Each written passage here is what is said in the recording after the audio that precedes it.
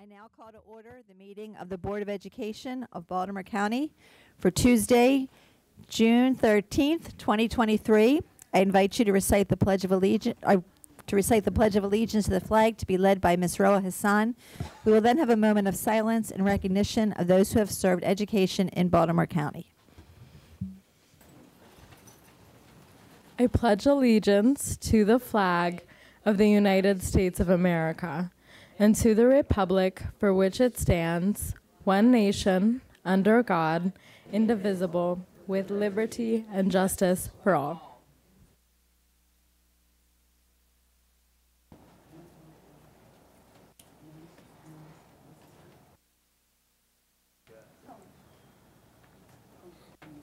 Thank you.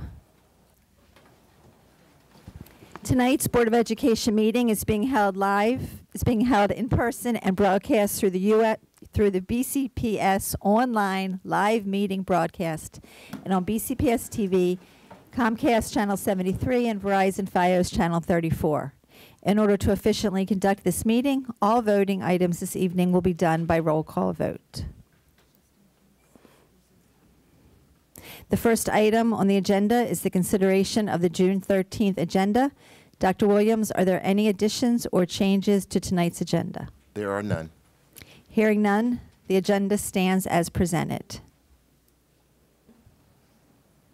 Earlier this evening, the board met in closed session pursuant to the Open Meetings Act for the following reasons. To one, discuss the appointment, employment, assignment, promotion, discipline, demotion, compensation, removal, resignation, or performance evaluation of appointees, employees, or officials over whom it has jurisdiction, or any other personnel matter that affects one or more specific individuals, consult with counsel to obtain legal advice, and conduct collective bargaining negotiations or consider matters that relate to the negotiations. The summary of the closed session and open session information summary can be found on board docs under this meeting agenda date. Next on the agenda is a special order of business recognizing our student member of the board, Ms. Roa Hassan. At this time, could Roa and Ms. Harvey, Dr. Williams, join me in front of the dais?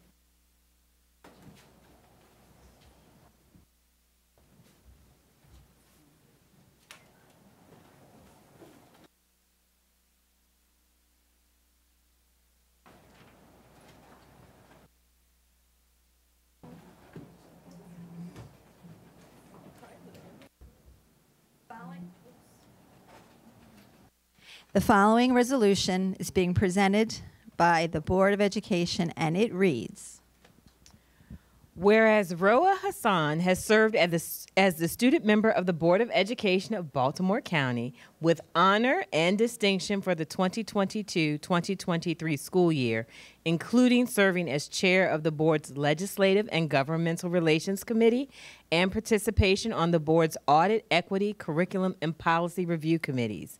And whereas her passion for student advocacy began in 2019 as president of the Perry Hall Class Senate. Senate, events coordinator for the Perry Hall Muslim Student Association, and vice president of Perry Hall Girl Up. Her service continued as the Legislative Affairs Coordinator of the Baltimore County Student Councils and Vice Chair of the Maryland High School Democrats Women's Caucus. In 2020, Roa founded Mike Up Maryland, a student led organization advocating for equity and empowering youth involvement. And whereas Roa Roa's commitment to the students of Baltimore County is shown through her mental health resolution approved on February 28, 2023. This resolution recognizes the board's commitment to equitable access to mental health resources, ensuring the safety of all students, and elevation of the student's voice through the establishment of a seat of a student seat on the Baltimore County Public Schools Mental Health Advisory Council.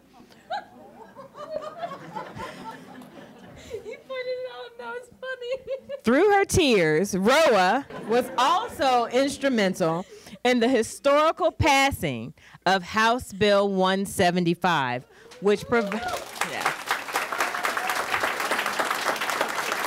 This bill provided that future Baltimore County student members of the board with the right to vote on budgetary matters. And whereas Roa is to be commended for bringing honor to this school system as she continues her education at the University of Maryland to major in both public policy and government and politics. Now, therefore, big word. Be it, be it resolved that the Board of Education of Baltimore County, assembled in regular session on the 13th day of June in the year 2023, expresses to Roa our fondest regards and gratitude for her services. And be it further resolved, be it further resolved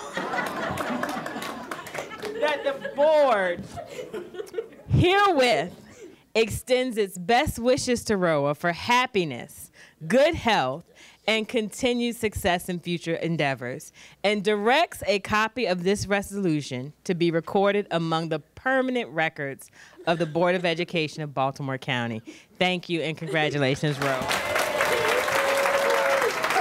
Mess, girl, you a mess.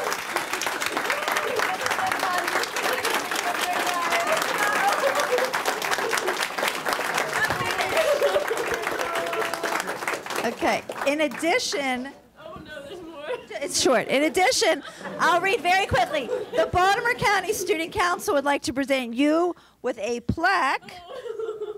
recon- recognizing you. So, fellow board members, I move that the board accept Resolution 2023-02 in recognition of our student member of the board, Roa Hassan. May I have a second? Second, Pumphrey. All in favor, say aye. Aye. The motion has passed. Congratulations, Roa. We go right here? Can I like wipe my tears? Yes, right. Okay, thank you. Okay, you good? Yeah, I'm good. Oh, that was so kind, guys. Hey, we're not finished because next I'd like to invite Delegate Cheryl Pasteur to the front. So give her the box there, Miss Booker Dwyer. You got okay, you got it? Okay. Don't just I didn't think I would leave. Thank you. Okay. Okay. hold it one Okay. more second. I'm okay, guys. Here, hold this. Maybe you won't cry if you're holding I don't think, I think, yeah, I think I'm okay. Okay. Oh, thank you. Thank you. I'm so proud of Roa and so happy that she's going to the University of Maryland College Park. Woohoo! So, Roa, on behalf of all of the folks from the 11th District, Senator Hettleman, who is at an event tonight, was not able to come. Delegate Stein, who's also at an event and wasn't able to come, and Delegate Cardin, who is out of town. But they all told me to give you their love and their well wishes. So, on behalf of them, the Maryland General Assembly official citation be it hereby known to all that sincerest congratulations are offered to Roa Hassan in recognition of her excellent service and commitment to the students and staff of Baltimore County Public Schools while serving as the student member of the school board during the 2022 and 2023 school year presented on this 13th day of June, 2023, by Senator Shelly Hettleman, Delegate Jon Cardin, Delegate Cheryl Pasteur, and Delegate Dana Stein. Congratulations.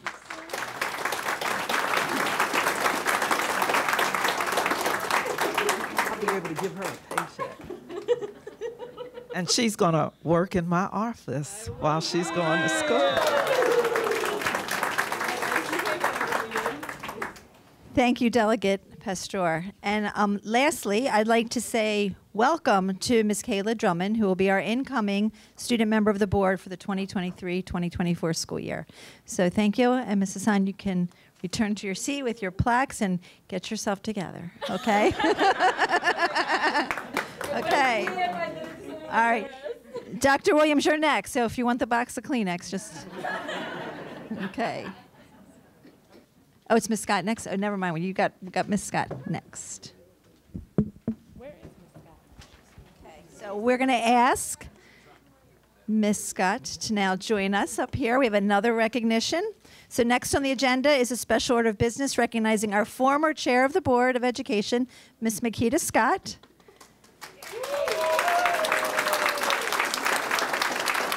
Okay. And Miss Harvey is also going to read your. Resolution 2023-03. Whereas Maketa Scott has served as a member of the Board of Education of Baltimore County with distinction and honor from December 2018 through November 2022. And whereas she has provided exemplary service to the students, parents, and staff of Baltimore County Public Schools as chair of the board December 2020 through November 2021. And whereas Ms. Scott has worked actively for the achievement of all Baltimore County students with focus on equity and raising the bar and eliminating achievement gaps. And whereas she has served on the following Board of Education committees the Equity Committee, where she was instrumental in the creation of, the of this committee and served as chair. Legislative and Governmental Relations Committee, where she served as vice chair, and the Policy Review Committee, where she served as chair. And whereas she represented the Board of Education of Baltimore County on the Maryland Association of Boards of Education's Equity Committee, Legislative Committee, and the Federal Relations Network Committee. And whereas Ms. Scott, as chair, represented the Board of Education admirably at numerous state and county events. And whereas Ms. Scott always placed the needs of all students as her first priority and has committed her time and expertise to the Baltimore County Public Schools community. Now, therefore, be it resolved that the Board of Education of Baltimore County, herewith assembled in regular session on the 13th day of June in the year 2023, recognizes the outstanding contributions of Miss Maketa Scott, and be it further resolved that the board does herewith extend its deepest appreciation and gratitude for her dedication, loyalty, and service, and further extends its best wishes for good health, happiness, and continued success in her future endeavors. Congratulations, Ms. Scott.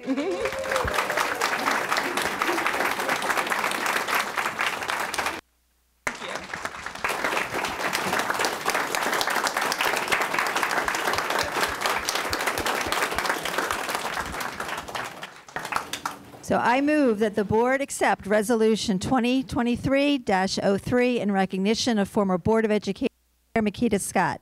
May I have a second? Second Frempong. All in favor, say aye. Aye. The motion has passed. Woo-hoo! Okay. Tradition is that following one service as board chair, a portrait is done and placed with the other former presidents and chairs' portraits in room 123 across the hall. At this time, on behalf of the board, I would like to ask everyone to acknowledge the leadership and dedication that Ms. Scott provided the board and school system during her tenure as board chair.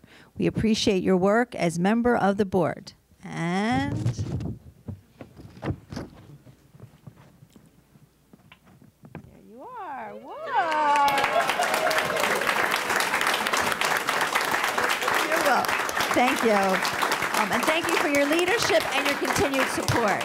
So Ms. Keita still is part of uh, one of the equity um, advisory groups, so she is still actively assisting us with our work. So I want to thank you for your continued um, support of BCPS. Thank you so much. You're welcome. Thanks. Ms. Scott, did you want to say anything? Did you want to say? Did you want to say anything, or you Sure. Yes. Thank you all so much for coming. Um, thank you all for for your support. Thank you to the board. Thank you, Dr. Williams, for everything that that you have done. Um, and I would just say, um, I understand I'm the first black female chair in a hundred years, 175 years. Uh, yes. and um, I do not intend to be the last because I, I, I do not intend to be the last. And I would also like to say let's make that the the norm of inclusion of all voices and everyone, and let's make the first black female chair of the board not an anomaly but a regular occurrence. Thank you.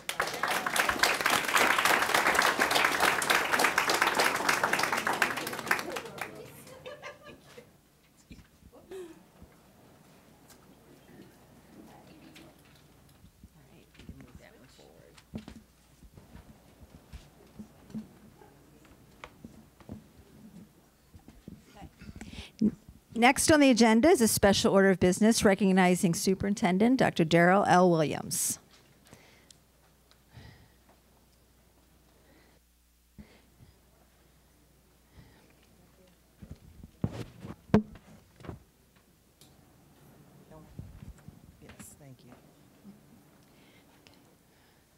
The following resolution is being presented by the Board of Education, and it reads, Whereas Dr. Darryl L. Williams has served as superintendent of Baltimore County Public Schools with honor and distinction since July 2019. And whereas through his development of the compass, our pathway to excellence, he has guided the school system toward a path of academic and operational excellence focused on raising the bar, closing gaps, and preparing Team BCPS for the future. And whereas, as a result of Dr. Williams' leadership, BCPS has weathered a once in a lifetime global COVID 19 pandemic and a cybersecurity attack, and as a result, has grown in its innovative practices and collaboration across offices and agencies to meet the needs of students and staff. And whereas, due to his focus on improving student achievement, BCPS has prepared a variety of pathways to prepare students for careers, the military, and post secondary education, and integrated a continuous improvement process that measures the effectiveness of focused actions and supports to meet the specific needs of students, staff, and communities.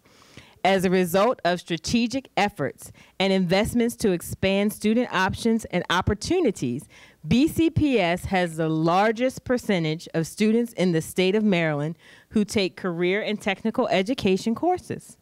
Dr. Williams lengthened the school day to provide additional time for learning, as well as expanded academic resources and support to students during the school day, after school, on Saturdays, and through summer programs.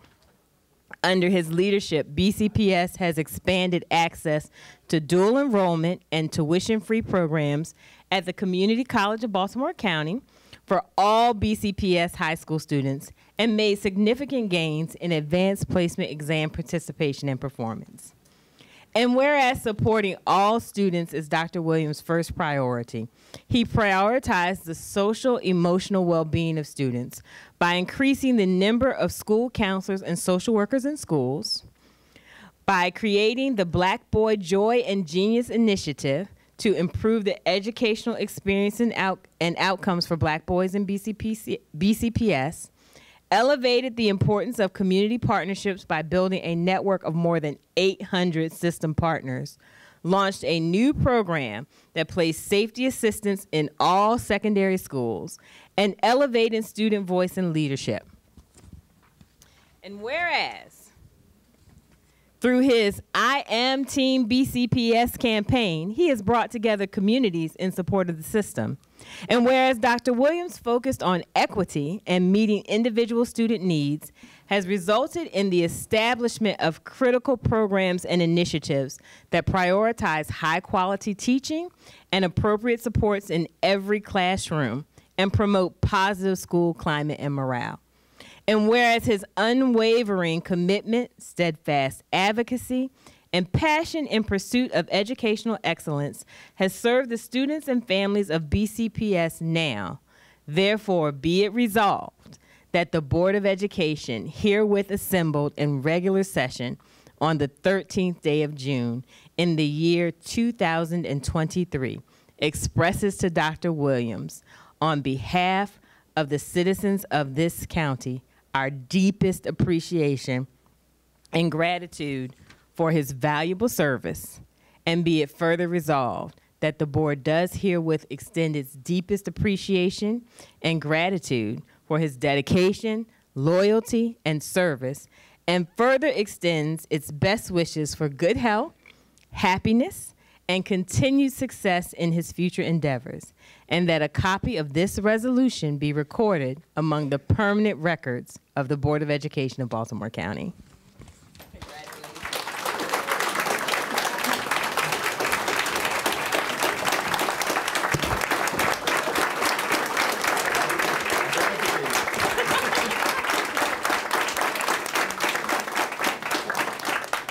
I move that the board accept Resolution 2023-04 in recognition of Superintendent Dr. Darryl L. Williams. May I have a second? Second Pumphrey. Thank you. All in favor, say aye. Aye. The motion has passed.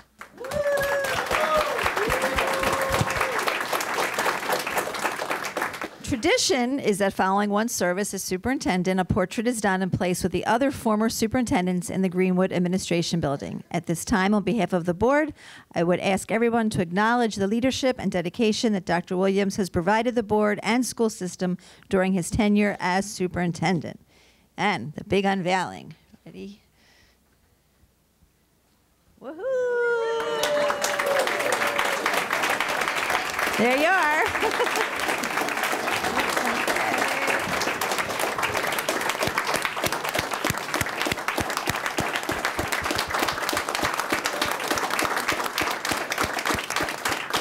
And next, I'd like to invite Delegate Cheryl Pasteur back to the front, and she will present a delegation citation to Dr. Williams. Whoops.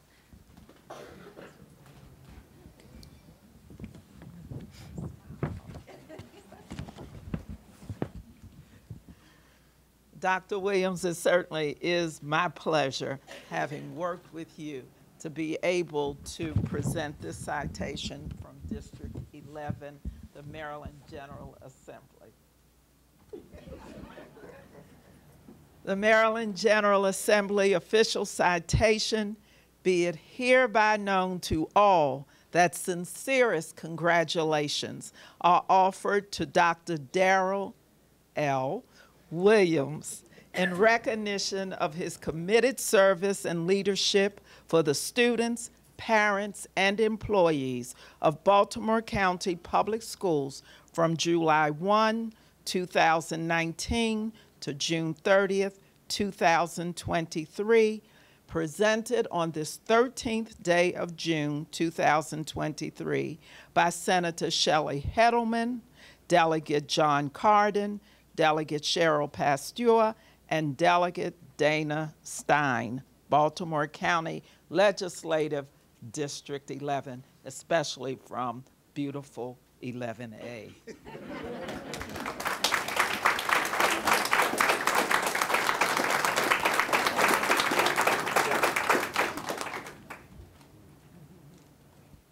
Would you like to say anything? Okay, back there. Okay, all right, so we are now going to return to our seats. Thank you, um, Delegate Pasteur.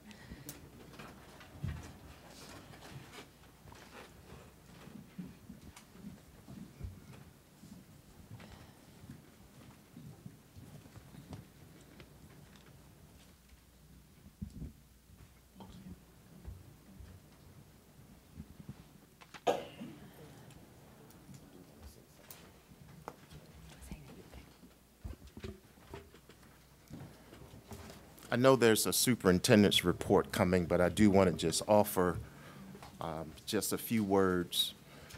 Uh, To our BCPS students, I want you to continue to follow your dreams and work hard. The resources and partnerships are here to address gaps, accelerate learning, and prepare you to be college and career ready. The road you travel will have twists and turns along the way, but stay focused and ask for help there is at least one adult in every school building whom you can trust. To our BCPS parents and guardians, continue to stay involved and check your child's performance, attendance, and opportunity for rigorous courses and programs. Please keep them involved in clubs and extracurricular activities and monitor, please, their social media and their circle of friends.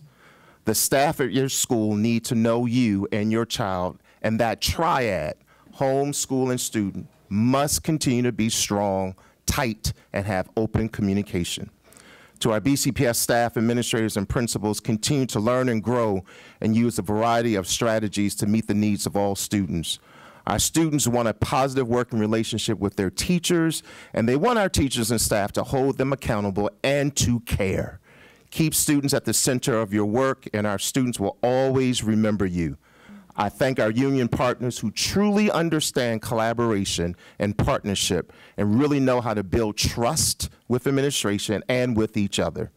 To our central office staff, thank you for being present during the many issues that we had to face as a team with the pandemic cyber attack, efficiency review, and inaccurate stories about our system and me. You know the truth and allow your actions to speak greater than your words.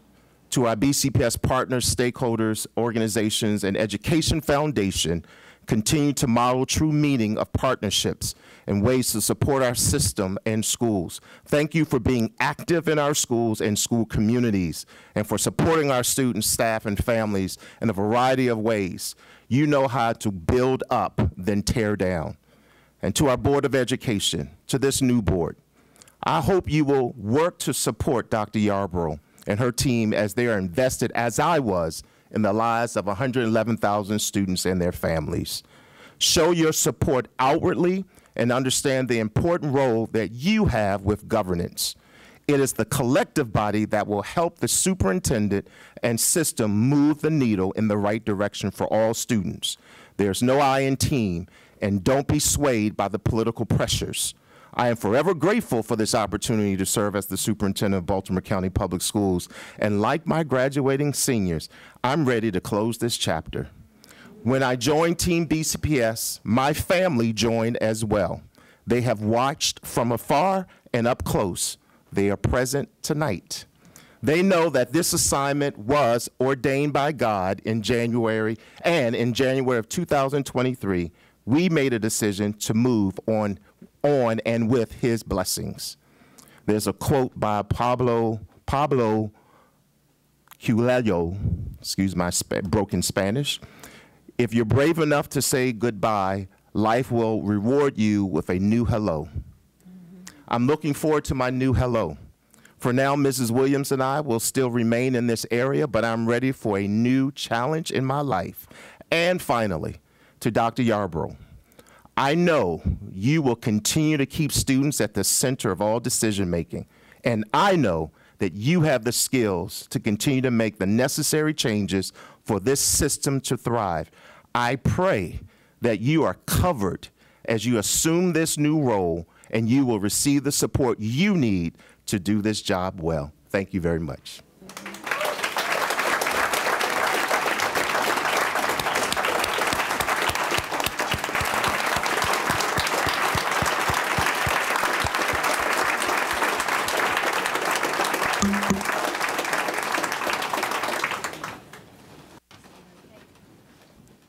Thank you, Dr. Williams.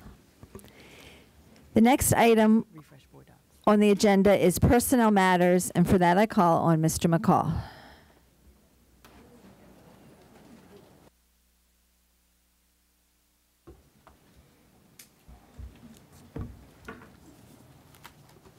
Good evening.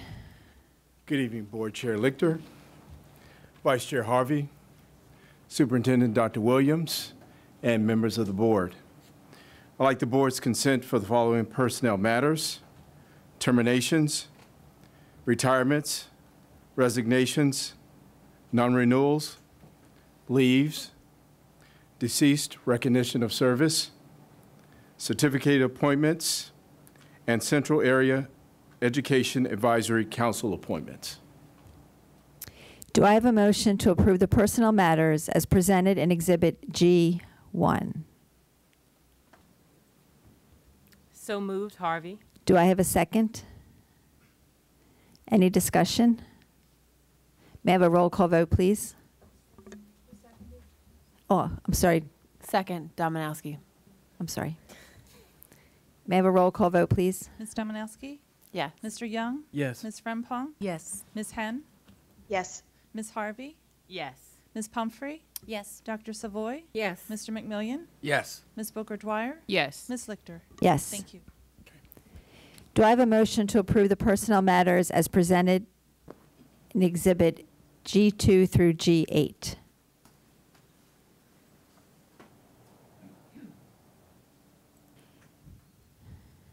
We just did G1, now we're doing G2 through G8. So moved, Booker Dwyer.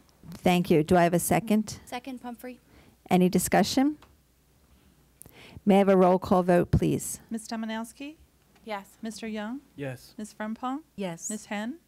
Yes. Ms. Harvey? Yes. Ms. Hassan? Yes. Ms. Pumphrey? Yes. Dr. Savoy? Yes. Mr. McMillion? Yes. Ms. Booker Dwyer? Yes. Ms. Lichter? Yes. Thank you. The next item on the agenda is administrative appointments, and for that, I call on Dr. Williams. Madam Chair Lichter, Vice Chair Harvey, and members of the board, I'm bringing forward the following administrative appointments for your approval. There are several. Principal of Stemmers Run Middle School, assistant principals in the following schools: Church Lane Elementary, Dundalk Elementary, Grange Elementary, Hawthorne Elementary, and two positions at Overlea High School. Coordinator of the Office of College and Career Readiness, Fiscal Supervisor 3 in the Office of Title I, Pupil Personnel Worker, Office of School Climate and Culture, Senior Community Facilitator, there are two in the Office of Title I, Homeless Programs and Community Schools, two positions as Specialists in School Programs, Office of Title I, Specialist Judy Center, Office of Early Childhood Programs, Supervisor Business Systems, Office of Food and Nutrition Services, and the Chief Human Resources Officer in the Division of Human Resources. Do I have a motion to approve the administrative appointments as presented in Exhibit H1? So moved, Harvey. Thank you. Do I have a second? Second, Savoy. Thank you. Any discussion? May I have a roll call vote, please? Ms. Domanowski? Yes. Mr. Young? Yes. Ms. Frempong? Yes. Ms. Henn? Yes. Ms. Harvey? Yes. Ms. Hassan? Yes. Ms. Pumphrey? Yes. Dr. Savoy? Yes. Mr. McMillion? Yes. Ms. Booker Dwyer? Yes. Ms. Lichter? Yes. Thank you. Dr. Williams. So our first appointee is Christy L. Allen as the principal of Stemmers Run Middle School. Please stand. Joining tonight with Miss Allen is her daughter, Audrey Allen. Please stand. Is she here? He didn't hear you. Joining you is your daughter. Dr. Principal Ridgely, yes. Dr. Paris, you can remain standing. Thank you. Miss Allen brings 25 years of service in Baltimore County. Currently, she was the assistant principal at Ridgely Middle School. Prior to that, she was assistant principal at Middle River Middle School. And she has experience as a stat teacher and vocal music teacher at Stricker Middle School. And she participated in the Aspiring Leadership Program in 2011. Congratulations, the new principal. Stemmers Run.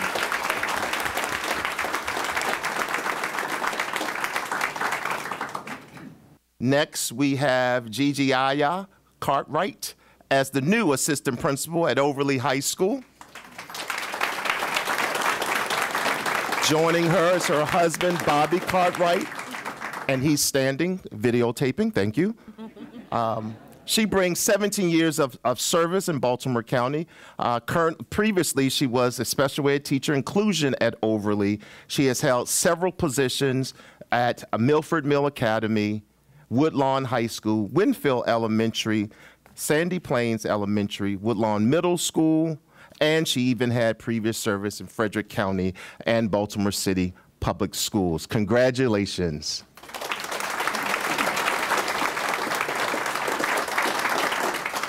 Next, we have Amanda Boyd as the new assistant principal at Hawthorne Elementary. Come on through. Yes. Attending with her is her husband, Justin Boyd. We welcome you. She brings 21 years of service. Previously, she served as the staff development teacher at Hawthorne Elementary. She also served as a stat teacher at Seneca Elementary and classroom teacher at Vincent Farm Elementary and Seneca Elementary. Congratulations, Ms. Boyd.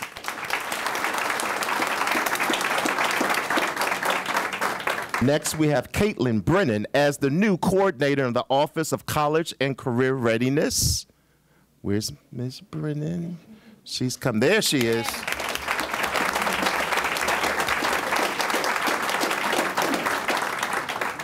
And you have someone with you. I have my wonderful supportive husband, Mark, with me. Thank you, Mark. Thank you, Mark, for being with us. Uh, Ms. Brennan brings 17 years of service. Uh, previously, she served as the assistant principal at Sparrows Point High School. She also served as the teacher of business education at Sparrows Point High School, teacher of Spanish at Sparrows Point High School, and previous experience in the Anne Arundel County Public Schools. Congratulations.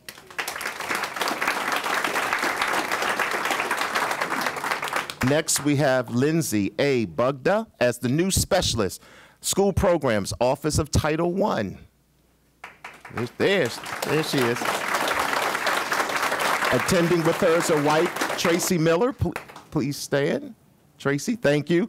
She brings she brings 20 years of service in Baltimore County Public Schools. Previously, she served as a staff development teacher at Middle River Middle School. She also served as a stat teacher, reading teacher, English teacher, and again, a reading teacher at Middle River, also reading teacher at Deep Creek Middle School, and she served and participated in the Aspiring Leadership Program in 2012. Congratulations, Ms. Bugda.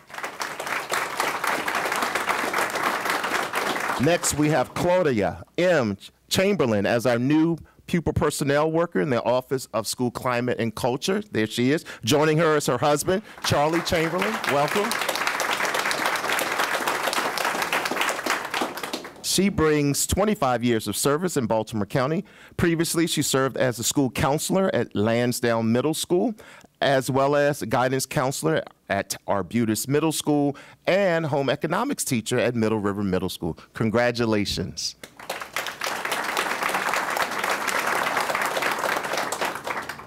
Next, we have Maureen E. Kritz as the new specialist, Judy Center, Office of Early Childhood Program. Where is Miss? Oh, way in the back. There she is. Attending with her is the supervisor, Lisa Dingle. Miss Dingle here. Miss Dingle. Miss Dingle, stand, please. There you go. Ms. Uh, Kritz brings 21.4 years of service. Previously, she served as a facilitator in Campfield Early Learning Center. Prior to that, she was an assistant principal at Mars Estate as well as Sandy Plains. And prior to that, she serves as a resource teacher and classroom teacher at Randallstown Elementary School. Congratulations. Next, we have Joshua M. Foy, Foy as the assistant principal at Dundalk Elementary School, and attending tonight with him is his wife, Casey Foy. Welcome. He brings over a little over seven years of experience in Baltimore County. Previously, he was a psychologist in the Office of Psychological Services, as well as Battle Grove Elementary School, and he brings prior experience in Prince George's County Public Schools. Congratulations, Joshua Foy.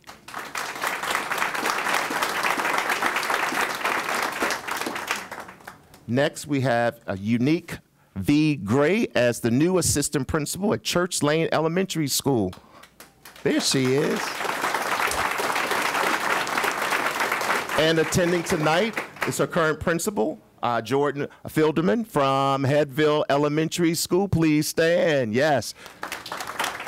Miss Gray, she brings over 16 years of experience in Baltimore County. Previously, she was the staff development teacher at Hebbville Elementary School. She was a resource teacher and classroom teacher, all at Hebbville Elementary School. They will miss you at Hebbville Elementary School. Congratulations, Miss Gray.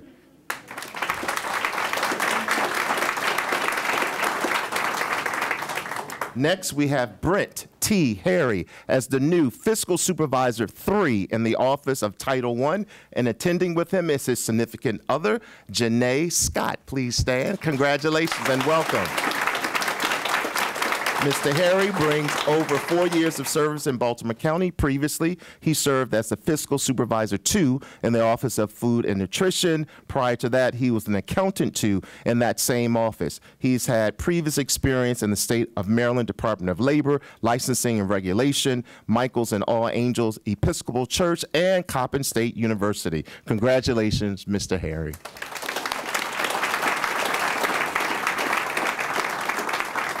Next, we have Asia S. Hinton Sweets as the new Senior Community Facilitator, Office of Title I, Homeless Programs and Community Schools. And joining her is her mom, Ellen Hinton. Welcome, Mom.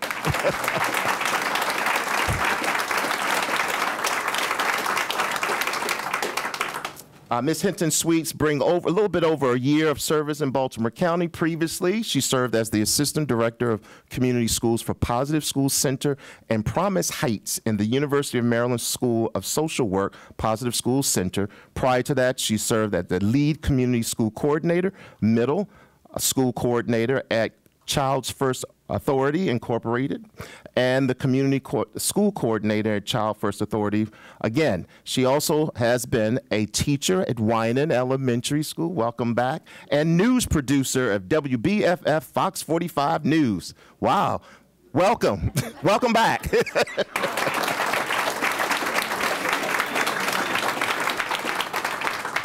Next, we have Myra I. Lee as the new supervisor, business systems, food services in the Office of Food and Nutrition Services. And attending with her is her sister, Monica Hadley. I hope I said that correctly. Oh, no. Okay. I tried. Um, she brings over 1.7 years of, of service in Baltimore County. Prior to that, she was the data analyst in the Office of Food and Nutrition Services. And prior to that, we stole you from Harford County Public Schools. Yes. And she also served at Johns Hopkins University and Comcast Cable. Congratulations, Ms. Lee.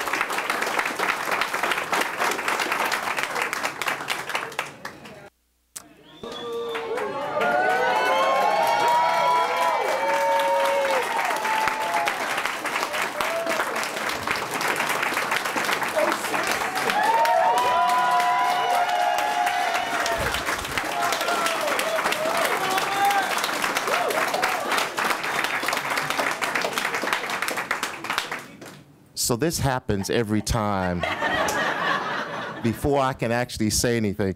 Uh, it is with great pleasure that I introduce Homer McCall II as the new Chief of Human Resources Office in the Division of Human Resources. And attending tonight is his wife, Shakira Cummings McCall. Mr. McCall II, he brings a little over nine years of service in Baltimore County.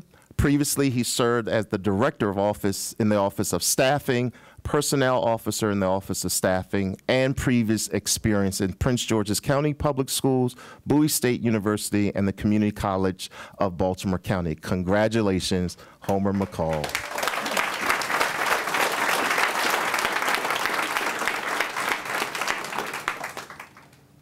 Next, we have Elizabeth P. Perlack as the new assistant principal at Grange Elementary School, and attending with her is her husband, Daniel Perlack. Congratulations. She brings four years of service in Baltimore County. Previously, she was the staff development teacher at Shady Spring Elementary School, reading teacher and stat teacher at Parkville Middle School, and she has previous experience at Anne Arundel County Public Schools. Congratulations, Ms. Perlack. Next, we have Tammy L. Rudolph as the assistant princ- new assistant principal at Overlea High School, and joining her is her husband, Scott Rudolph.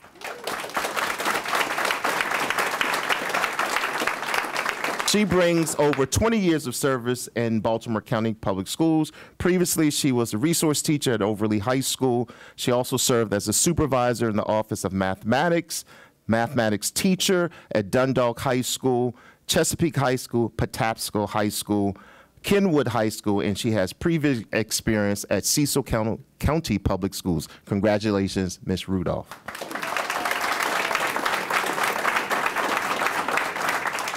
Next, we have Malik Soyas, who is watching virtually as our new senior community facilitator in the Office of Title I, Homeless Programs and Community Services. He brings over a little over a year of service in Baltimore County. Previously, he was the community school facilitator at Berkshire Elementary, and he brings previous experience at Baltimore Collegiate School for Boys, KIPP Baltimore, Brooklyn Ascend Middle School, Civic Leadership Academy High School. So congratulations, Malik Solis, watching virtually.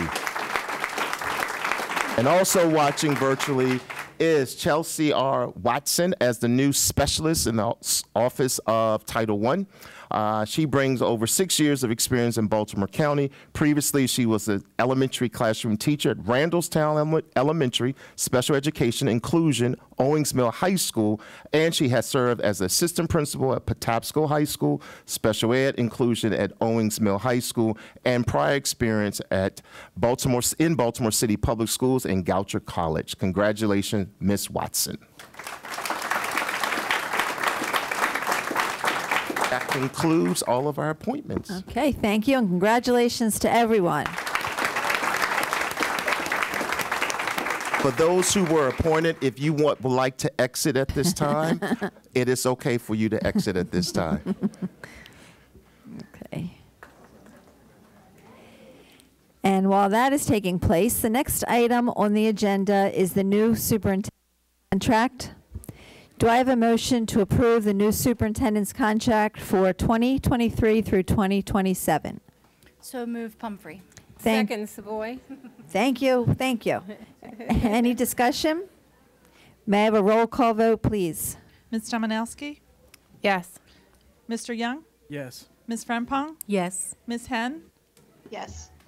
Ms. Harvey? Yes. Ms. Hassan? Yes. Ms. Pumphrey? Yes. Dr. Savoy? Yes. Mr. McMillion? Yes. Ms. Booker Dwyer? Yes. Ms. Lichter? Yes. Thank you.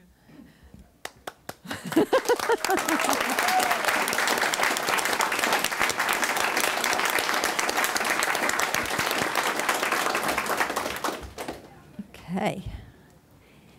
Then, oops. Our next item is public comment. This is one of the opportunities the board provides to hear the views and receive the advice of community members. The members of the board appreciate hearing from interested citizens. As appropriate, we will refer your concerns to the superintendent for follow-up by staff. Online registration was open to the public one week prior to tonight's board meeting and closed at 3 o'clock p.m yesterday for anyone wishing to speak at this evening's meeting. Board practice limits to 10 the number of speakers at a regularly scheduled board meeting. Speakers are selected randomly using an electronic selection process from all registrations received within the designated time frame. Each speaker is allowed three minutes to address the board. No speaker substitutions will be allowed. For those who are not selected through the online registration, a wait list sign-up sheet was available 30 minutes prior to the meeting. If a registered speaker is absent, speaker slots will be reassigned from the wait list so that the 10 speaker slots are allocated. In accordance with recommendations from the Baltimore County Police Department's Homeland Security Unit and the Office of School Safety, we've implemented the following safety and security protocols to enhance the safety of all attendees. Participants should be seated in the room during meetings. Individuals who need to stand should go out into the hallway to do so. Participants should not approach the table unless called upon to speak and should not approach the dais. While we appreciate the creativity many have shown during their presentations, materials brought to the table are limited to electronic devices, presentation papers, and posters no larger than 11 by 14 inches. Other items should be left in your seats. Information to be given to the board is to be handed to the staff member who is seated in the front area of the meeting space. Information for other participants is to be left on the designated table outside in the hall. In the event of an emergency that requires an emergency response, such as lockout, lockout, lockdown, or evacuation, staff from the Office of Safety, School Safety will direct participants. If evacuating participants will exit through the rear or front door in an orderly manner, leave the building and cross over to the parking lot or other safe distance as warranted. While we encourage public input on policy programs and practices within the purview of this board and this school system, this is not the proper forum to address specific student or employee matters or to comment on matters that do not relate to public education in Baltimore County. We encourage everyone to utilize existing dispute resolution processes as appropriate. I remind everyone that inappropriate personnel remarks or other behavior that disrupts or interferes with the conduct of this meeting are out of order. Persons using language that is threatening or promotes violence against a BCPS employee are subject to legal penalties. Persons who otherwise disrupt or disturb this meeting will not be allowed to continue their remarks and will be escorted from the meeting. I ask speakers to observe the three-minute clock, which will let you know when your time is up. Please conclude your remarks when you hear the tone or see that time has expired.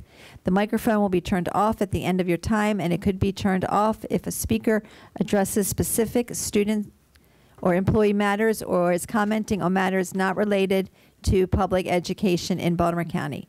If not selected, the public may submit their comments to the board members via email at boe@bcps.org.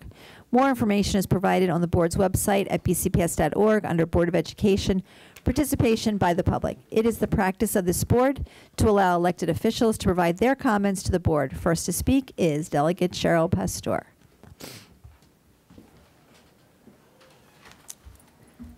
Welcome, and thank you for your citations for our um, superintendent and board member. Well, thank you. You know I wouldn't miss this night for Roa and Dr. Williams. I began by saying it was the best of times, it was the worst of times, it was the age of wisdom, it was the age of foolishness, it was the epic of belief, it was the epic of incredulity. It was the season of light. It was the season of darkness. It was the spring of hope. From a tale of two cities, Dr. Williams. It is my pleasure and my sadness tonight. Tale of two emotions. Dr. Williams, you have experienced it all.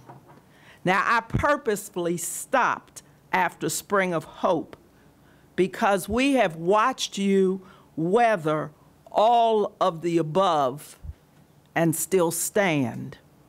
You chose to rise above the negativity and begin your new chapter, leaving behind a legacy which includes new schools, and you said it, or I think um, uh, Mrs. Harvey said it actually, opportunities for students interested in career technology.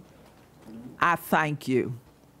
It's been through three superintendents, no, four superintendents, and three county executives that I, along with Arnold Potler, may he rest in peace, have advocated for this. Thank you for making this happen for all of our children all over the county. You've given us new approaches to learning. Albeit scores are not where we want them to be, but you leave behind a road map for success. You weathered a pandemic, ransomware, and the aftermath of both. You leave giving us a future filled with hope and promise. Thank you. You leave us with the wisdom and the light that Dickens saw. Hope and light that only a man who cares about children could possibly leave. Thank you. For too long, Baltimore County Public Schools has been a tale of two systems. You leave having worked to forge only one system. So, I'm going to take this moment to thank the board and Dr. Yarbrough for supporting Dr. Williams' vision by supporting our neediest schools, ensuring that the staff at these schools are fairly recognized and compensated for lifting those students to that new height, to the mark of excellence which you have brought to this system. Dr. Williams, you leave us with so many new hires who can now, with the support of the board, turn this spring of hope into a summer of transition and then a winter of success for all of our students, all of our students. Dr. Williams, I wish you well. I wish you Godspeed, and I wish that you continue in His name to carry the light that He has put in your spirit.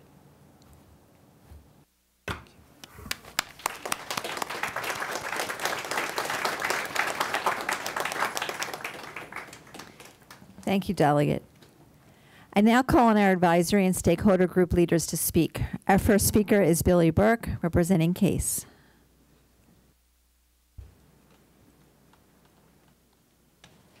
Good evening. Good evening, Chairwoman Mrs. Lichter, Vice Chairwoman Mrs. Harvey, Superintendent Dr. Williams, and members of the board. Thank you for the opportunity to speak to you on behalf of CASE. I would like to take a moment and celebrate the members of CASE. You have led schools, families, and students through another challenging and successful year. It is time to rest, rejuvenate, and find what inspires you. Summer school and the start of the new school year will be here before you know it. Dr. Williams, on behalf of CASE, thank you for your service to Baltimore County. Dr. Yarbrough, congratulations on your appointment. CASE looks forward to continuing meaningful collaboration. As we move forward, I would like to make the following recommendations. As MOUs are created with each of the five bargaining units, each bargaining unit should review the MOU for impact to its members. MOU should remain in draft form until a collaboratively designed implementation plan is in place that focuses on the unit that must implement the decision. A work group of end users must provide feedback on the decision before the MOU goes into effect. This process would ensure balance when attempting to improve working conditions. My second recommendation is aligned to the budget process. This year, to balance the budget, a number of positions needed to be eliminated. Case would recommend that the actual positions be listed and the people in the position be notified as the budget is introduced. This would give the employees time to be placed in parallel positions when available as indicated in the master agreement, or change their declarations of intent and or look for another position within BCPS during the priority transfer process. It's hard to tell staff their position is eliminated. I get it.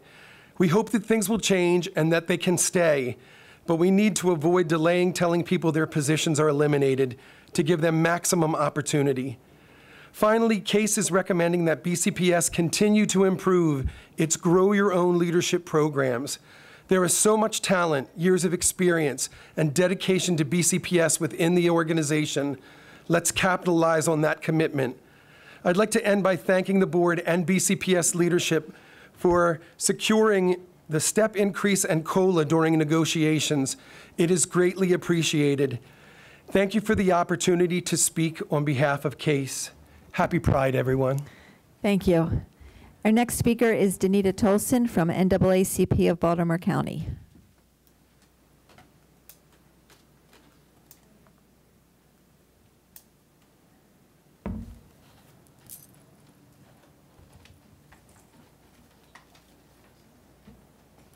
Good evening. Good evening, members of the board. Dr. Williams is an extraordinary individual who I admire because of his patience and dedications to the students and the community. He's an example of when they go low, we go high. He makes me think, think of a church song, May the work that I've done speak for me. He constantly reaches out to the community and to the Baltimore County. The Baltimore County NAACP wants to present a small dedication of our appreciation for the time, effort, and energy. Our award that we want to present to you, Dr. Williams, reads, the Baltimore County branch of the NAACP presents this award to Dr. Williams in recognition of your dedicated services as superintendent to the students and the staff of the Baltimore County Public Schools and your support of ACT-SO program from Dr. Danita Tolson and the Baltimore County branch. Thank you for your service. And we also want to, um, we also look forward to working with Dr. Yarbrough in the future. So thank you. Thank you. Our next speaker from the um, Area Advisory Education Council Central is Elisa Lanzo.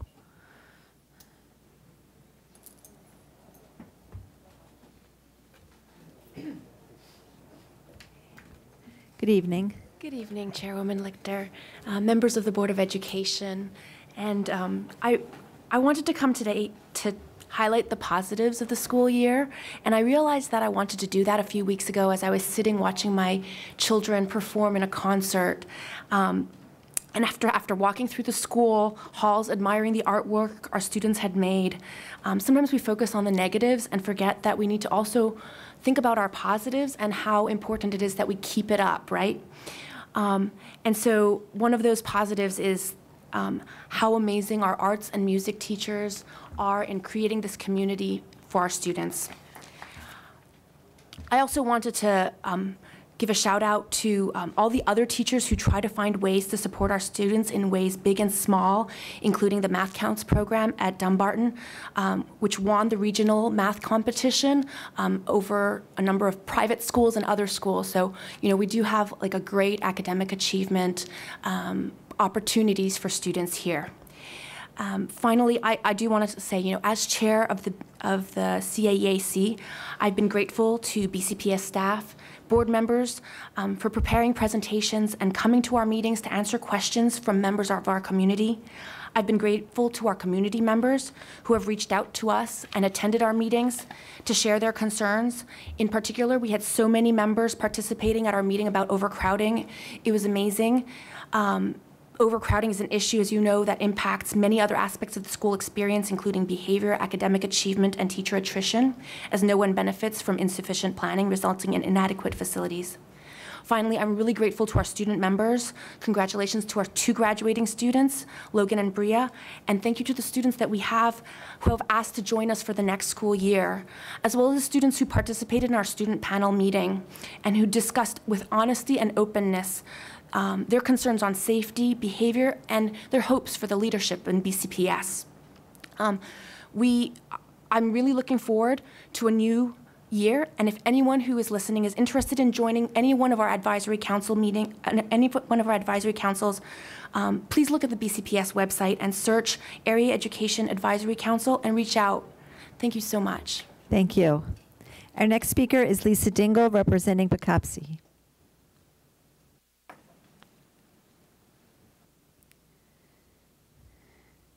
Good evening.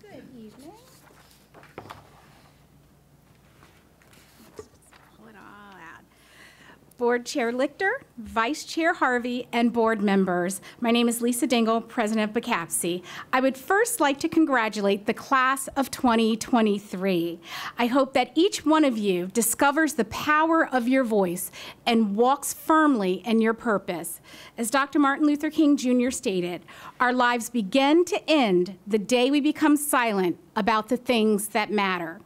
I hope you saw an example of voices being lifted during the last board meeting, in which the room was filled with people in support of Dr. Yarbrough as the next superintendent of schools.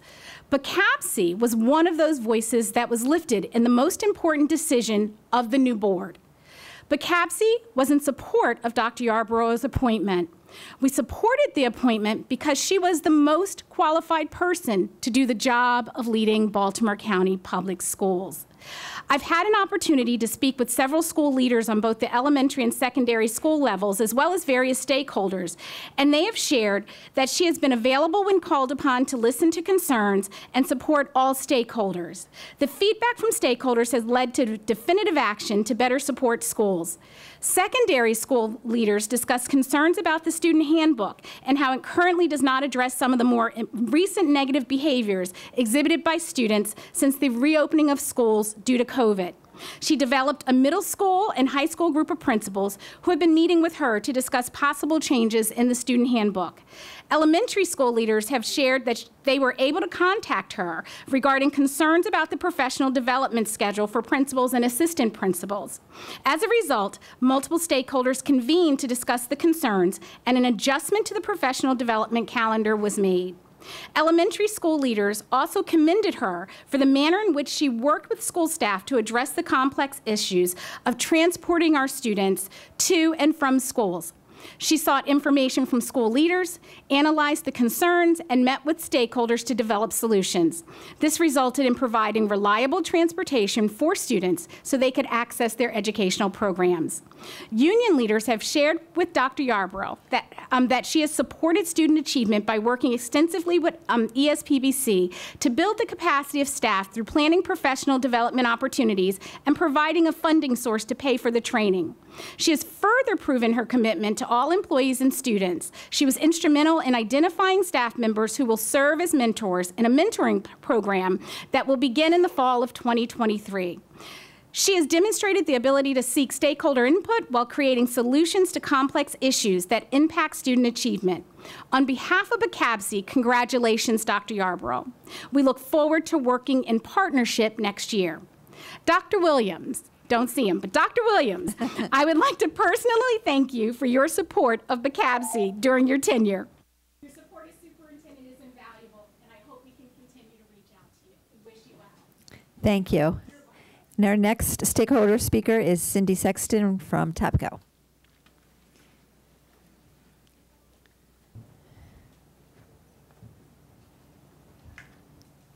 Good evening. Good evening, Chair Lichter, Vice Chair Harvey. Dr. Williams is going to listen, I know, and members of the board. It's hard to believe another year is done, and I want to thank the system for negotiating with TABCO so we can increase our career earnings and make BCPS one of the highest starting salaries in the state. The work to recruit and retain our educators is ongoing, and compensation is certainly part of that work. To everyone who had a part in that, the BCPS team, the TABCO negotiating team, and our Baltimore County government partners, thank you all for your time and effort. The work continues beyond compensation, and I look forward to continuing it with Dr. Yarbrough and her team. We must be better at recruiting and retaining. Our students need and deserve it.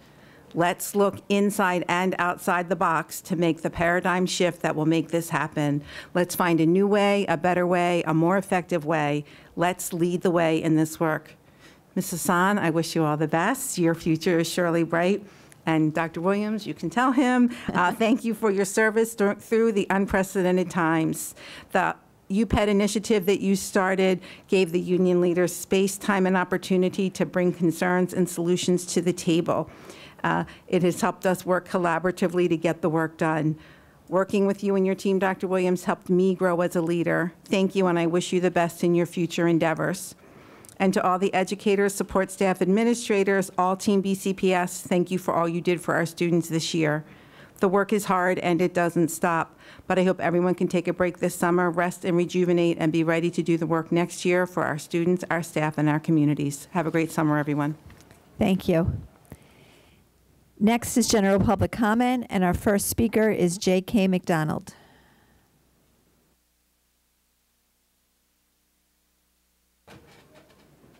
Okay. Our next speaker is Lloyd Allen.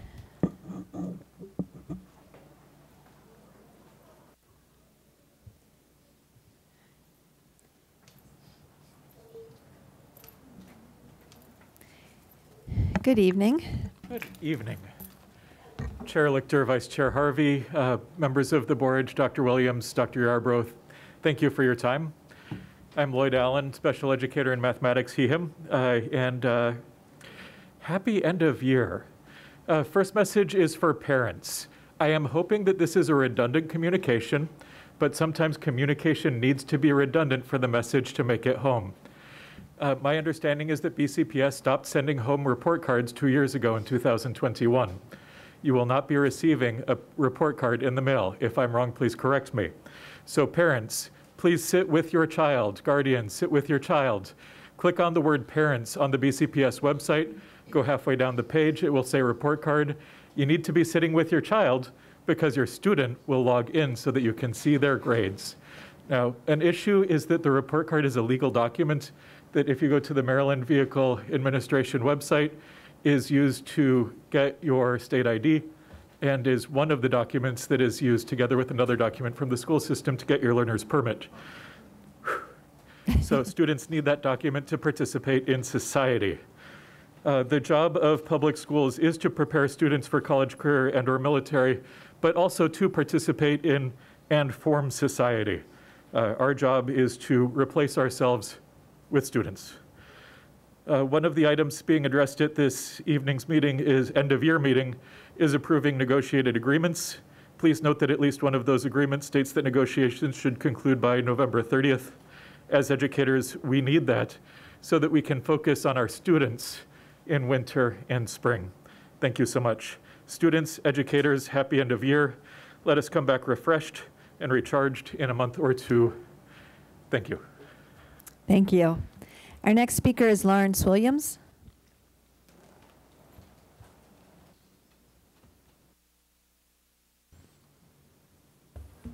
Good evening. Good evening. Good evening, Chair Lichter, Vice Chair Harvey, Superintendent Williams, members of the board, and fellow Baltimore County residents.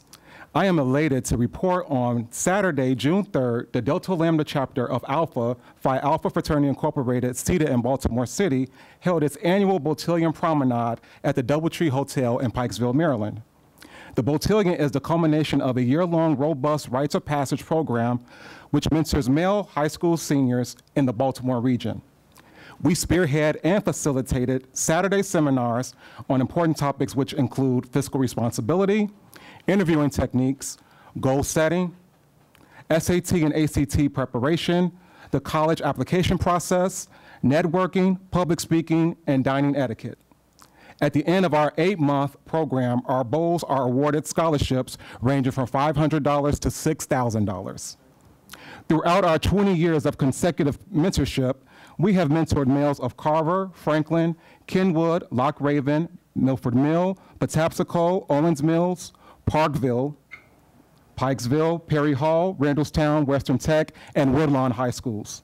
During the fall of 2020, the organization contemplated pausing the program because of the pandemic. We pressed forward, delivered our sessions virtually, and ended the year strong. This success could not have happened without the help of BCPS leadership and staff aiding in recruitment and providing rem reminders of scheduled seminars and deadlines for our Bow scholars. Many of our BCPS Bow alumni have become members of our great organization, joining an incredible brotherhood which include Grammy Award winner brother Lionel Richie, U.S. Senator brother Raphael Warnock, and Maryland's first African American governor brother Wes Moore. We want to publicly thank BCPS for partnering and producing amazing pupils. Just with the Williams administration, Alpha Phi Alpha Fraternity Incorporated Delta Lambda chapter looks forward to working with the Yarbrough administration as we continue to equip BCPS males with lifelong skills, all while defraying the cost of college education. Thank you. Thank you. Our next speaker is Amy Lamb.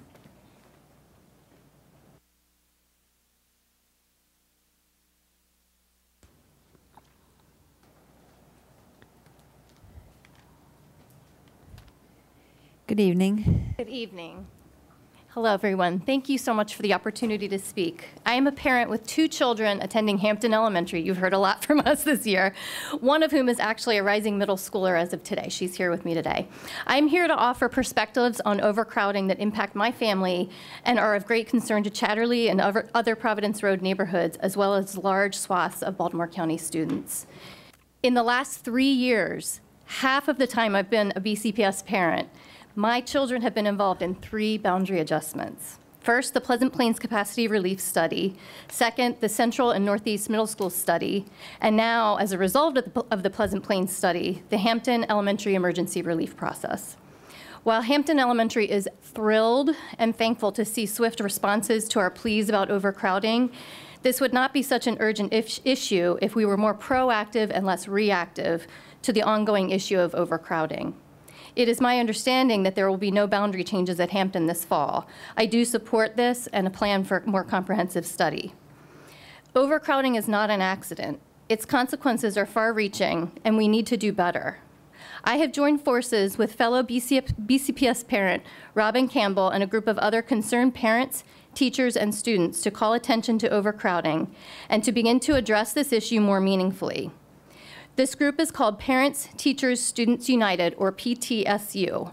Robin will speak more about PTSU's policy and legislative agenda. The impact of overcrowding on students is enormous. According to the National School Boards Association, overcrowding can decrease students' attention to instruction and increase unwanted behavior issues. The rates of, the rates of absenteeism are likely to be higher at overcrowded schools. The National Assessment of Educational Proge- Progress, NE NAEP, data support these findings. Nationwide, public school students who did not have overcrowded classrooms had significantly higher test scores in both reading and math than their peers. The most recent NAEP test scores were abysmal in Maryland, and low scores cannot be solely blamed on pandemic learning loss. According to the Maryland State Department of Education, Maryland's NAEP scores have generally been in decline since 2013 in each tested grade and subjects. That's 10 years. The impact on teachers is also enormous. Overcrowding leads to burnout, and too many teachers have chosen to abandon the profession altogether. For those who do choose to remain, they are forced to spend more time on behavior issues, which no teacher wants. Sustained stress can cause higher rates of absentee- absenteeism for teachers as well, which disrupts continuity for his or her classroom. Solving BCPS overcrowding requires strategic, proactive plans, not piecemeal reactionary policies that impair children's educations, teacher effectiveness, and community stability. We are challenging and supporting BCPS on this issue. Thank you. Our next speaker is Robin Campbell.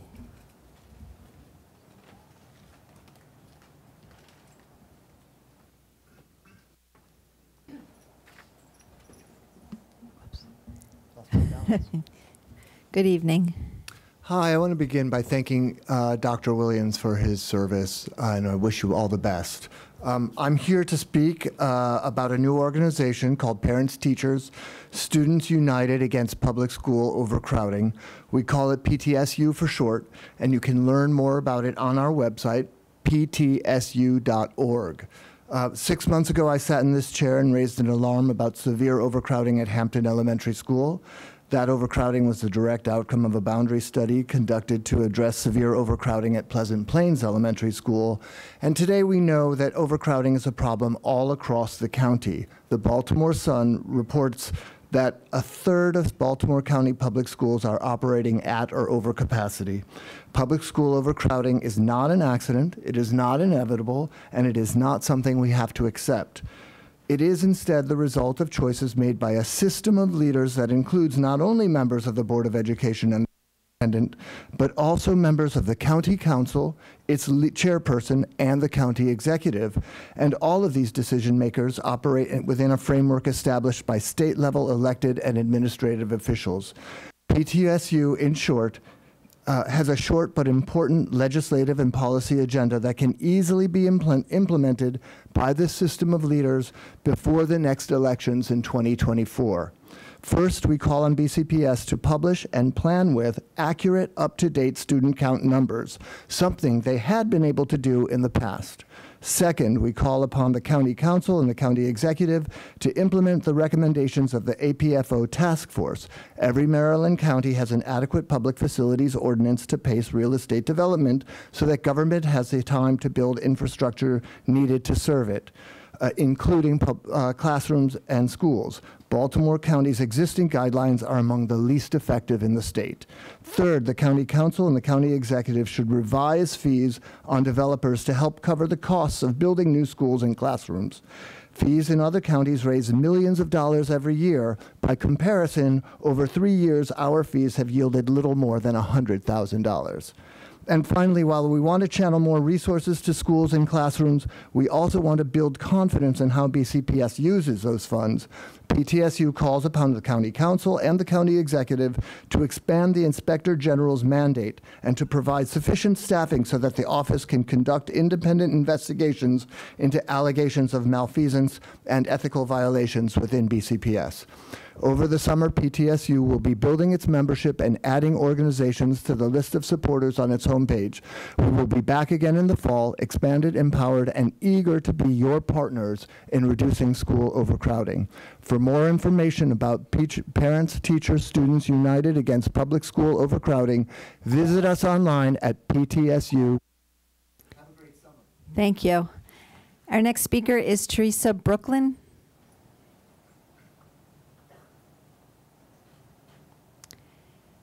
Our next speaker is Rebecca Chesner.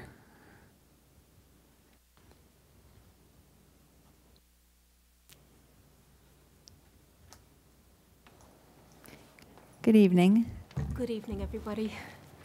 Um, My name is Rebecca Chesner, and I am a concerned citizen who is attending this school board meeting tonight to express my concern about some of the content that I understand is currently available in some of our school libraries. Unfortunately, our schools, which have been increasingly hijacked by political activism and identity politics, are in crisis right now. There is so much polarization and division going on in this country over this that we forget that the people being hurt the most here are our children. I think it is fair to say that common sense and data suggest that protecting the innocence of children throughout their childhood from topics filled with sex, drugs, and violence leads to less anxiety, less confusion, less depression, and more joy. Sadly, many of our children today are struggling academically, lack critical thinking skills, and basic knowledge of American history and civics, but are very knowledgeable about these former topics that they are bombarded with on a daily basis, whether it is social media, music, video games, movies, television, books, etc. Ironically, in the attempt to be diverse and inclusive, there is a whole large segment of the population, specifically parents, who are being disenfranchised, disrespected, and maligned simply for wanting to protect their children's innocence. Is that a crime? I think not. The particular book I will be focusing on is the book Tricks by Ellen Hopkins. Results of an online search indicate that this book contains obscene excerpts involving sexually explicit excerpts involving minors, excerpts containing explicit child rape and abuse, illegal drug use, graphic violence and profanity, underage alcohol consumption, and adult and childhood prostitution. In addition, a content warning pops up saying, you are about to access material that may contain content of an adult nature. These files may include pictures and materials that some viewers may find offensive. If you are under the age of 18, or if such material offends you, or if it is illegal for you to view these materials, please exit now. Currently, this book is available in 12 high schools in Baltimore County school libraries. I am simply asking that sexually explicit, vulgar, and or obscene materials not be available within our public schools where parents have diminished control of what their children can access or read. I will be submitting a citizen's review of materials for this book to your Chief Academic Officer, Mary McComas, to be reviewed by your board. Thank you so much. Thank you. Our next speaker is Scott Jenkins.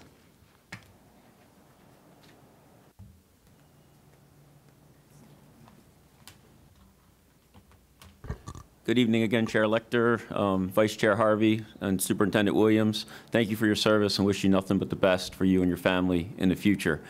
Um, you've all seen me over the last couple of months. I've been like a bad penny. I just keep turning up. I like to go with Miss, what with Miss Hassan says, make good trouble. Sometimes it's not good what I do, but we try to get out there and get our voice heard. I just want to talk tonight. I know you're all going to vote in a little while on the boundary study. Um, I want you to know, some of you were at the public meeting, some weren't. Um, my daughter, I think, said enough at the public meeting. She can speak much better than I am, so I'll let her words go there. But I just want to let you all know, for those that haven't followed this process, that a lot more went into it than just the committee and the consultants. A lot of us parents got together in February when we became concerned about how the process was going, and we started working across the spectrum of schools. I met parents from Rossville. I met parents from Red House Run. I met parents from Perry Hall Middle. I met people like Robin Campbell and Amy Lamb from Hampton. At the end of the day, Buddy Redmer from, from Gunpowder and so's from Kingsville, we got together and we tried to work with the consultants. We gave them ideas.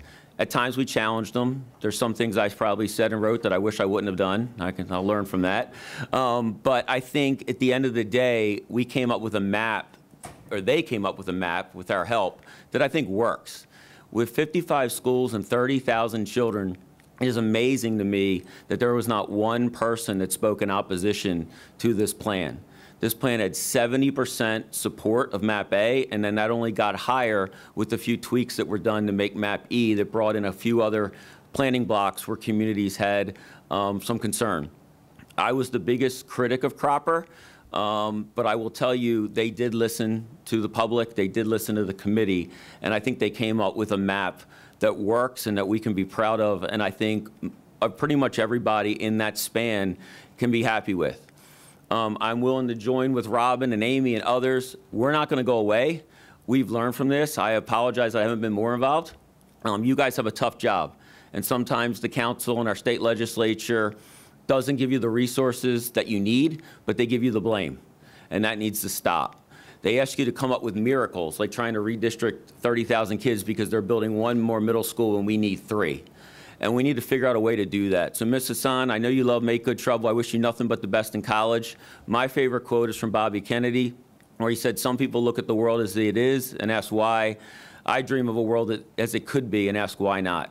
I challenge this board under the new leadership to continue asking why not, to continue fighting for our children, and I hope you'll support Matt B tonight. And uh, one little quick little side note, Ms. Sexton, teachers do matter. My first grader came downstairs this morning and actually was sad the school year was over because he's going to miss his first grade teacher. He's met his teacher that changed his life, and I appreciate everything TABCO does and you all do as a board. Thank you. Thank you. Our next speaker is Sharon Serhoff.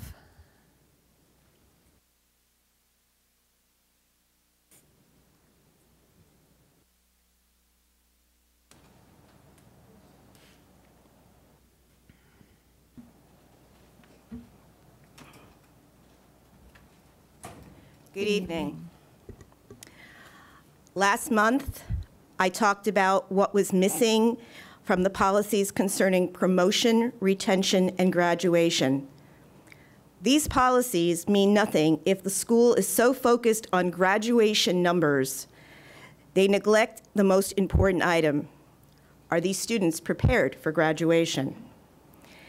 If a student is reading at the sixth grade level and performing math at the fourth grade level, are they graduation ready? If they're a student with disabilities, they can be. And this is troubling to me. If this were my student, I would ask them to, for them to be retained so that we would have a little bit more time to address their deficits. But BCPS doesn't retain students. BCPS promotes students no matter what. If a parent protests, they are bullied, even forced, into allowing their child to be promoted, even graduate. Why do we have a policy if parent concerns are ignored and silenced? What kind of an example are we setting for our students who attend the schools if administrators and central office staff bully, threaten, and verbally abuse parents and teachers unchecked? So, how do we solve this? Instead of bullying parents, listen to their concerns and work with them to help their students close the gap. Listening to parents also means listening to their representatives if they have one. Collaborate with them to provide needed services. More is more, less is not more. Let us recognize that students learn differently. Not everybody learns the same. Graduation shouldn't be about numbers. It should be about giving our students wings to fly and be successful. This morning, I had the extreme pleasure of watching a student of mine walk across a stage. She went from certificate track to getting a diploma, and all she needed was two more years. She, was, she is 20 years old. That's what we need to see, not a child walking across the stage who is not ready. Thank you. Thank you. Our next speaker is Lynn Lawings.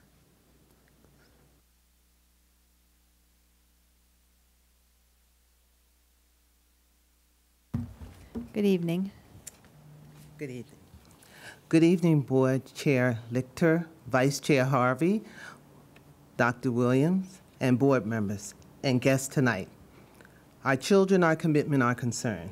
My name is Lynn Lawings. I'm the president of the Baltimore County chapter of the Continental Societies. I'd like to thank Dr. Williams for allowing us the opportunity to partner with the Baltimore County Public Schools. The Baltimore County cha- chapter provides supplemental activities and supports for Baltimore County students.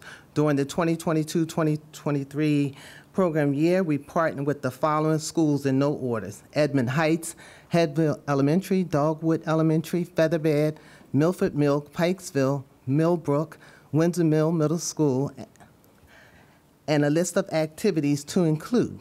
We hosted a back to school drive, which we were able to provide backpacks, school supplies to Hebbville and Windsor Mill Middle School.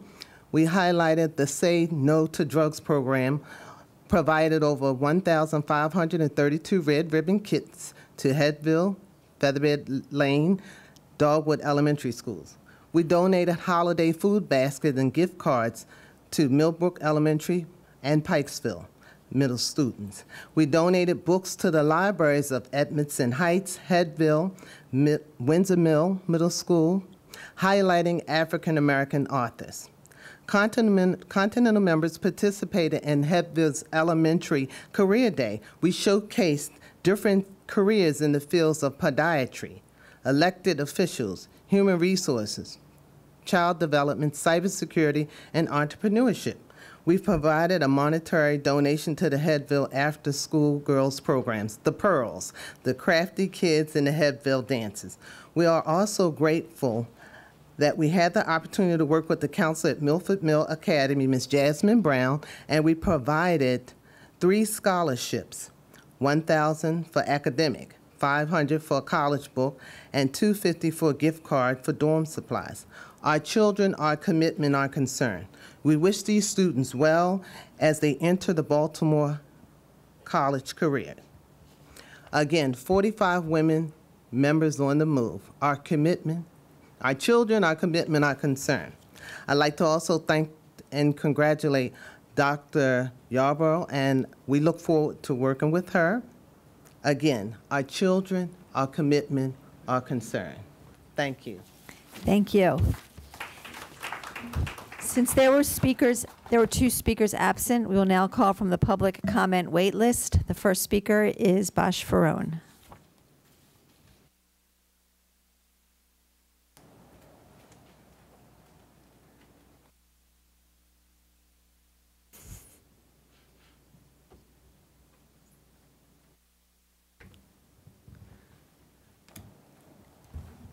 Good evening. Good evening. I'm really not prepared, but I'll do my best. Okay. Dr. Williams, thank you for your service.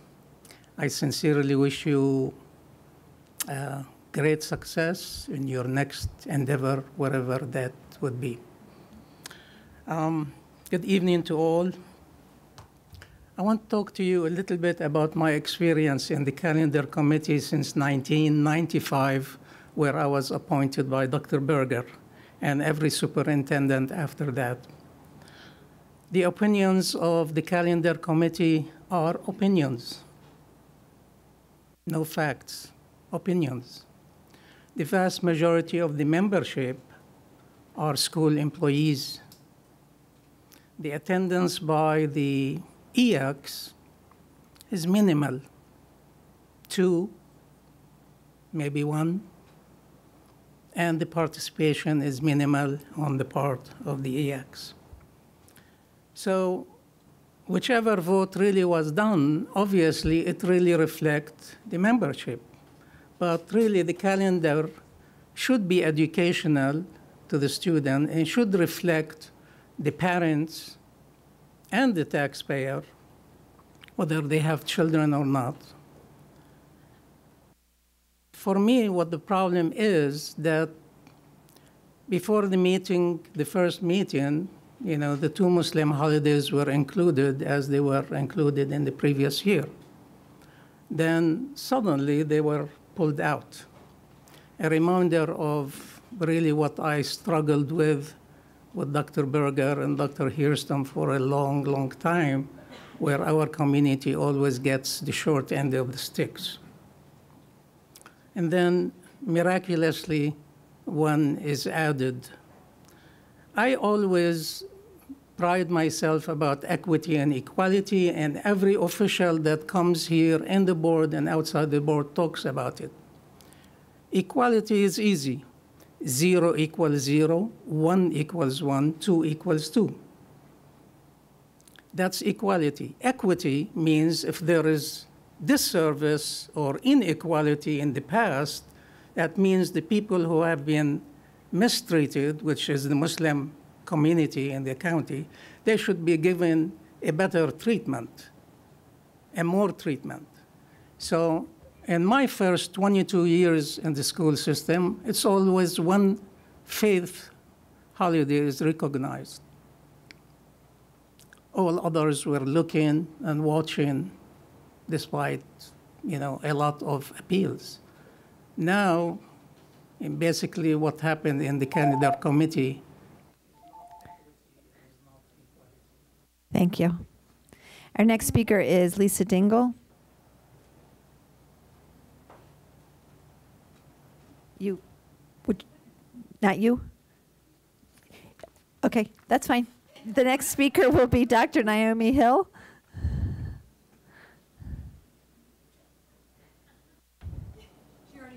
She already spoke. Okay, Ni- Dr. Naomi Hill. Okay, Aliso Magos.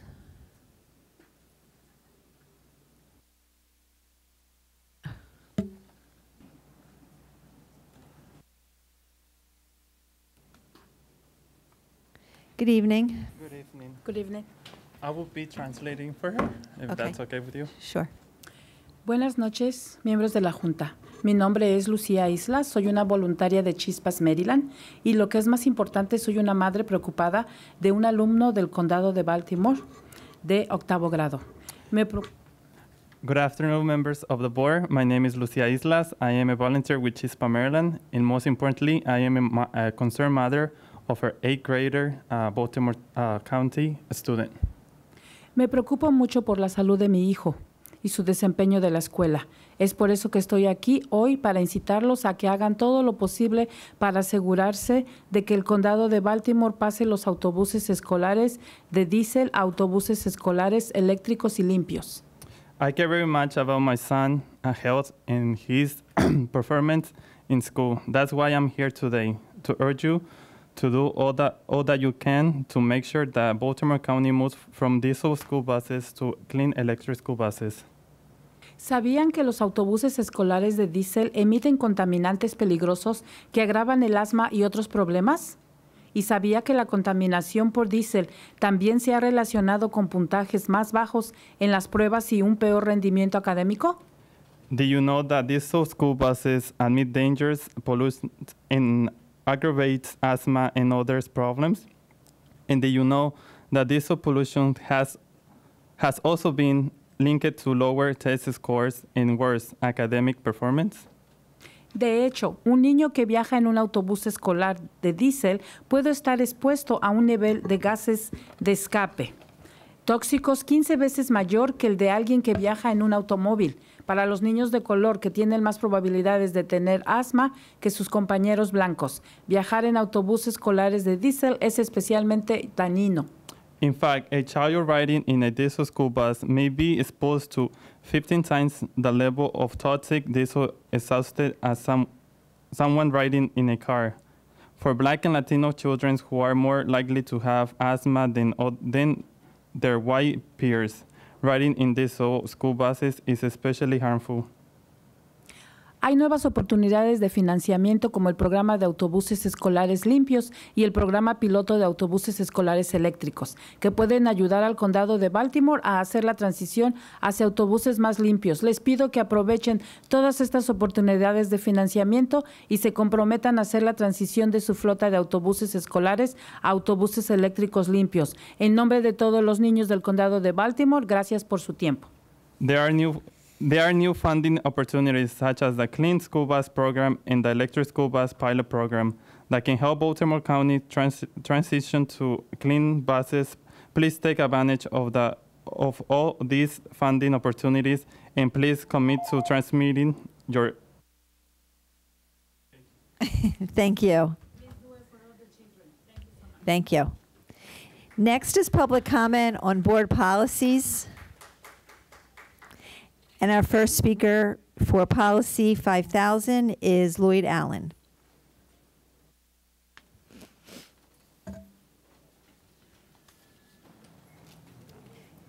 Good evening. Good evening again, Chair Lichter, Vice Chair Harvey, Dr. Williams, members of the board. Thank you for your time again. Um, as an educator, uh, I have to note that students are, uh, the job of a public school system is to serve students. And it is an interesting choice to remove a policy making firm statements declaring measurable commitments to student. Whoops, keep going. Sorry about You- that. you- no, it's not you. I'm, Go I'm ahead. distracted. so one, once more with feeling. Uh, the policy analysis states that these are redundant statements. Good.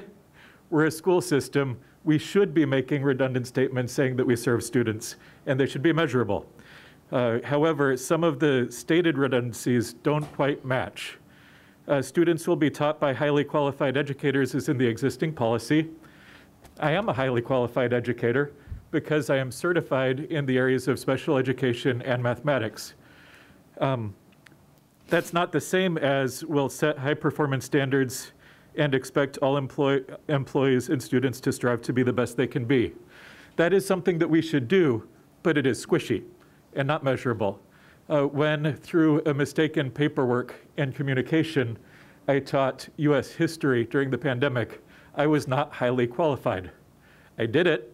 I took one for the team to help students, but I was not highly qualified during that semester. When you have me teach Algebra 2, when you have me teach calculus, then I'm highly qualified. So I'm not sure that all of these statements are as redundant as the policy analysis states they are. Thank you. Thank you. Students first. Thanks. Our next speaker for policy 5000 is Bosch Farone.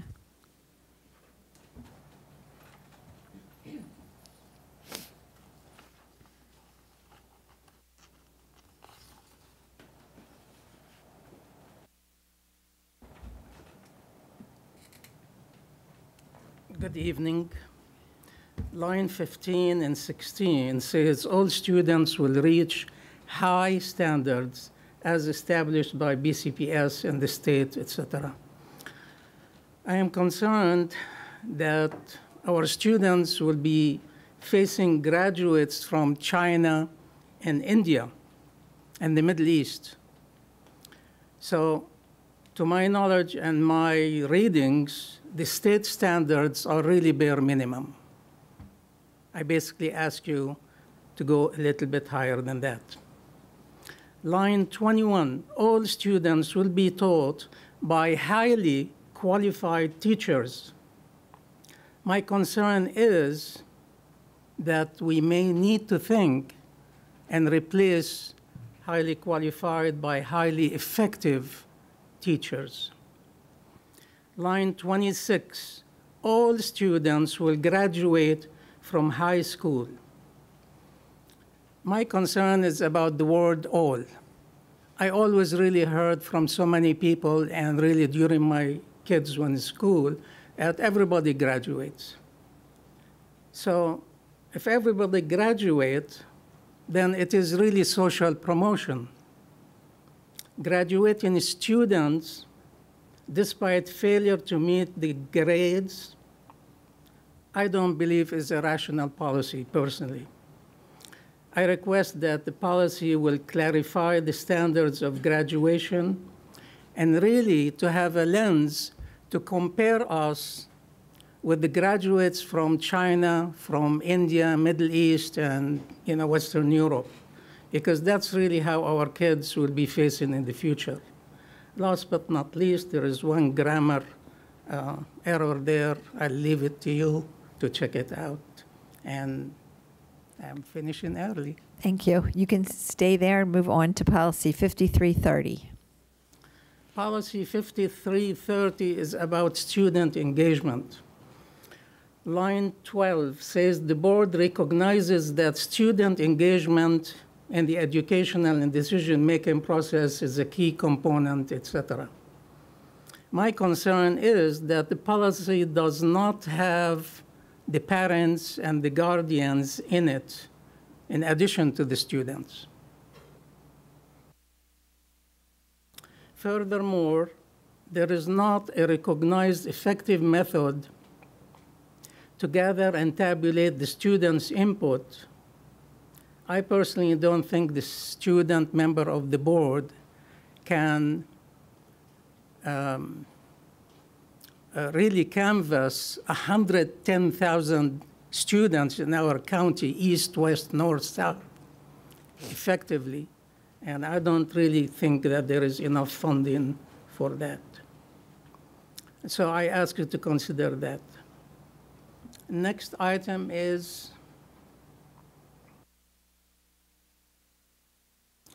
line 17. The board encourages student engagement in development of programs, policies, budget, and academic program. So I'm really pleased that our student member of the board has been a leader in that. But my concern is that there is no, um, I, I don't know where the, the hours would be. For a student member of the board or all active students, there is no enough time to learn, to study, and also to canvass the opinions of all students, and also, in the same time, grasp the complexities of the budget process, for instance. Okay? I have myself three boards under my belt, so, you know, critical care, surgery, wound care, nutrition, etc. And I have been here for a long time. The budget is really complex and not really easy to grasp.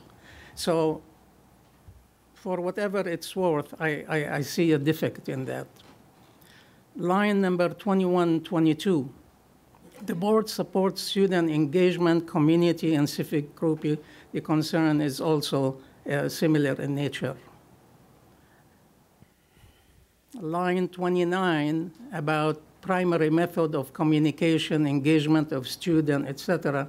My concern is that there is no financial and team logistic to support the student member of the board to cover the 110,000 students. I, I, don't know if that's really at all possible. Um, and that's it for this policy. Thank you. Our next speaker for that policy, um, 5330, is Lawrence Williams. Okay. All right, Dr. Ferone, since you're sitting there, policy 66002. Policy 6002 is about instructions. Line 7 and 8 says the board is responsible for the selection and purchase of instructional material, of course. My concern is about the adjective.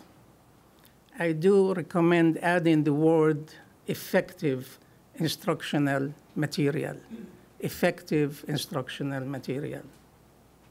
Line 13, 39, page 1, and line 1, page 2.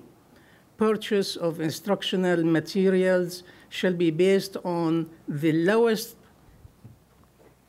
price, consistent with, etc. My concern is the way it's phrased, it really focuses on the price. Okay?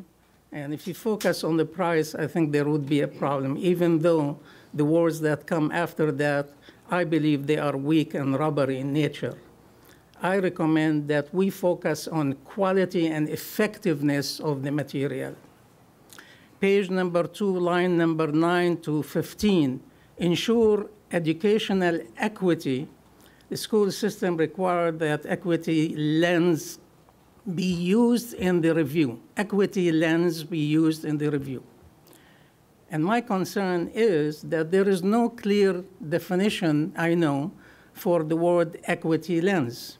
The sentence may be used, for instance, to brainwash certain students to a certain lifestyle that is objectionable to some parents based on moral or religious or ethnic or personal views. My suggestion is that we define clearly what is an equity lens. And this policy does not have an opt-out option. I think it's important for the school system when it's dealing with controversial issues to allow parents clearly by policy to opt out. Page number two, line 36 and 37 establish guidelines to evaluate and document effectiveness of the instructional material. I do I really appreciate the use of the word effectiveness, which what I related for before. So I, I recommend that you use that throughout not only just this policy, but also other policies. What counts is the effectiveness towards the students. That's the end of my comment about this policy.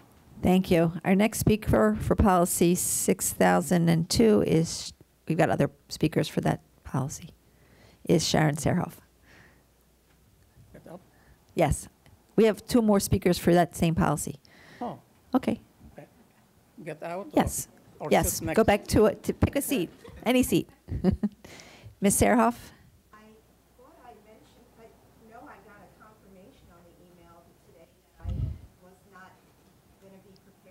Okay. That's fine. Um, Same policy, 6002, Anna Weisberg.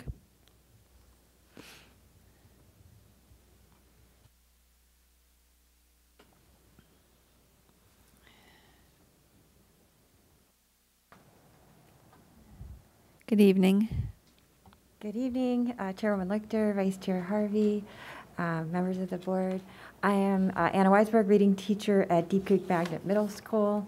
And um, I just wanted to first say that I really appreciated your follow-through on the Public Works recommendations.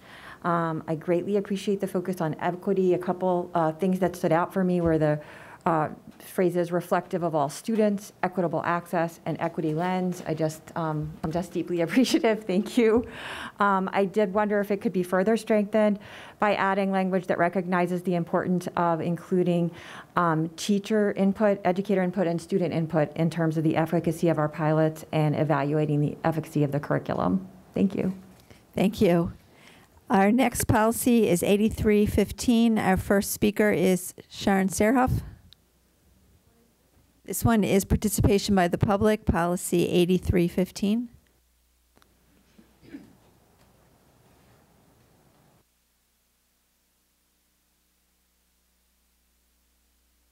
No, I initially said I wasn't going to speak That- on this, but that's I'm- fine. I'm going to speak on it anyway. Um, I read the uh, policy, and what comes to mind is I felt like the board didn't want to hear from the public. Um, And I, hopefully I'm wrong. This year, what I like about the, what we have been doing is we have the opportunity for people to sign up online, um, which affords a person like myself who's all over the place to be able to sign up. Um, I didn't see that anymore in, in the new policy, at least what I was able to print out. Um, I like the idea that we can get on a waiting list. That needs to be kept. Um, The policy also needs to state that we have the opportunity to either be in person or virtual. The state does that, and it allows people like myself to, if I'm not feeling up to driving here, at least I'll be able to still speak. Um, So. Thank you. That's, that's what I have to say about it. Okay, thank you. Same policy. Next speaker is Dr. Dorsey.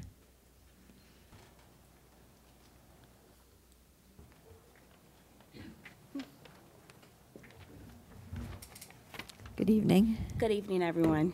Can I move this closer? So the number of students receiving special education services accounts for about 14.1% of the total enrollment compared to a statewide average of 12.8. 14.1% of 111,084 is 15,663. That is 15,663 students receiving special education services based on those that have at least been assessed. While not every student is at grade level to have their accommodations to be sent and approved to College Board. Excuse me one second. Are you talking towards policy 8315? I'm not sure what that is, but I know Okay. that I thought I actually signed up for the public part. I don't know how I end up under that policy. I don't know, but this is just um, speakers for the policy. Okay, so I so, won't be able to. No, thank you. Sorry about that. That's okay. You can That's sign unfortunate, up but again. thank you. Okay. You can submit your comments, um, you can give your comments to staff, and they will circulate them to us. Thank you. For policy 8315, same policy, participation by public, Anna Weisberg. No, thank you. Next person, same policy, Lloyd Allen.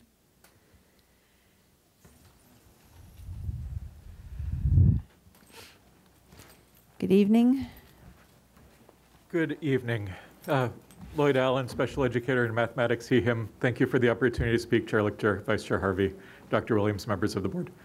Um, Addressing the chair, as remarks are always addressed to the chair, I initially had some concerns that were shared earlier.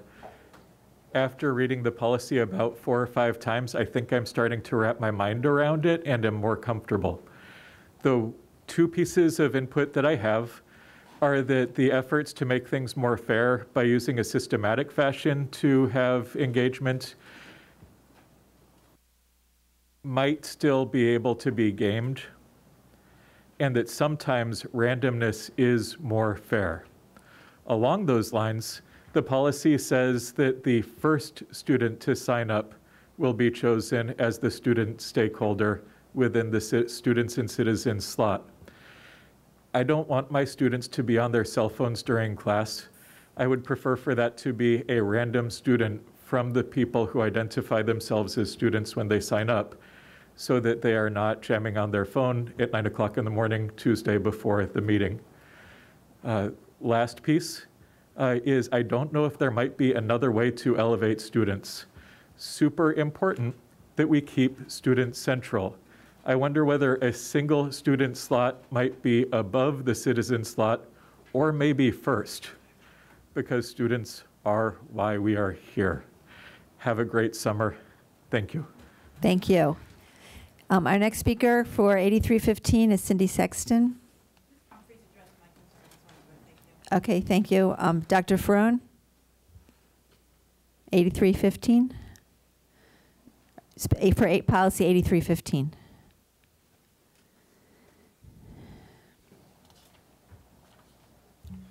There is a time to praise and there is a time not to praise. I really don't like this policy. And I ask you to return it to the drawing board.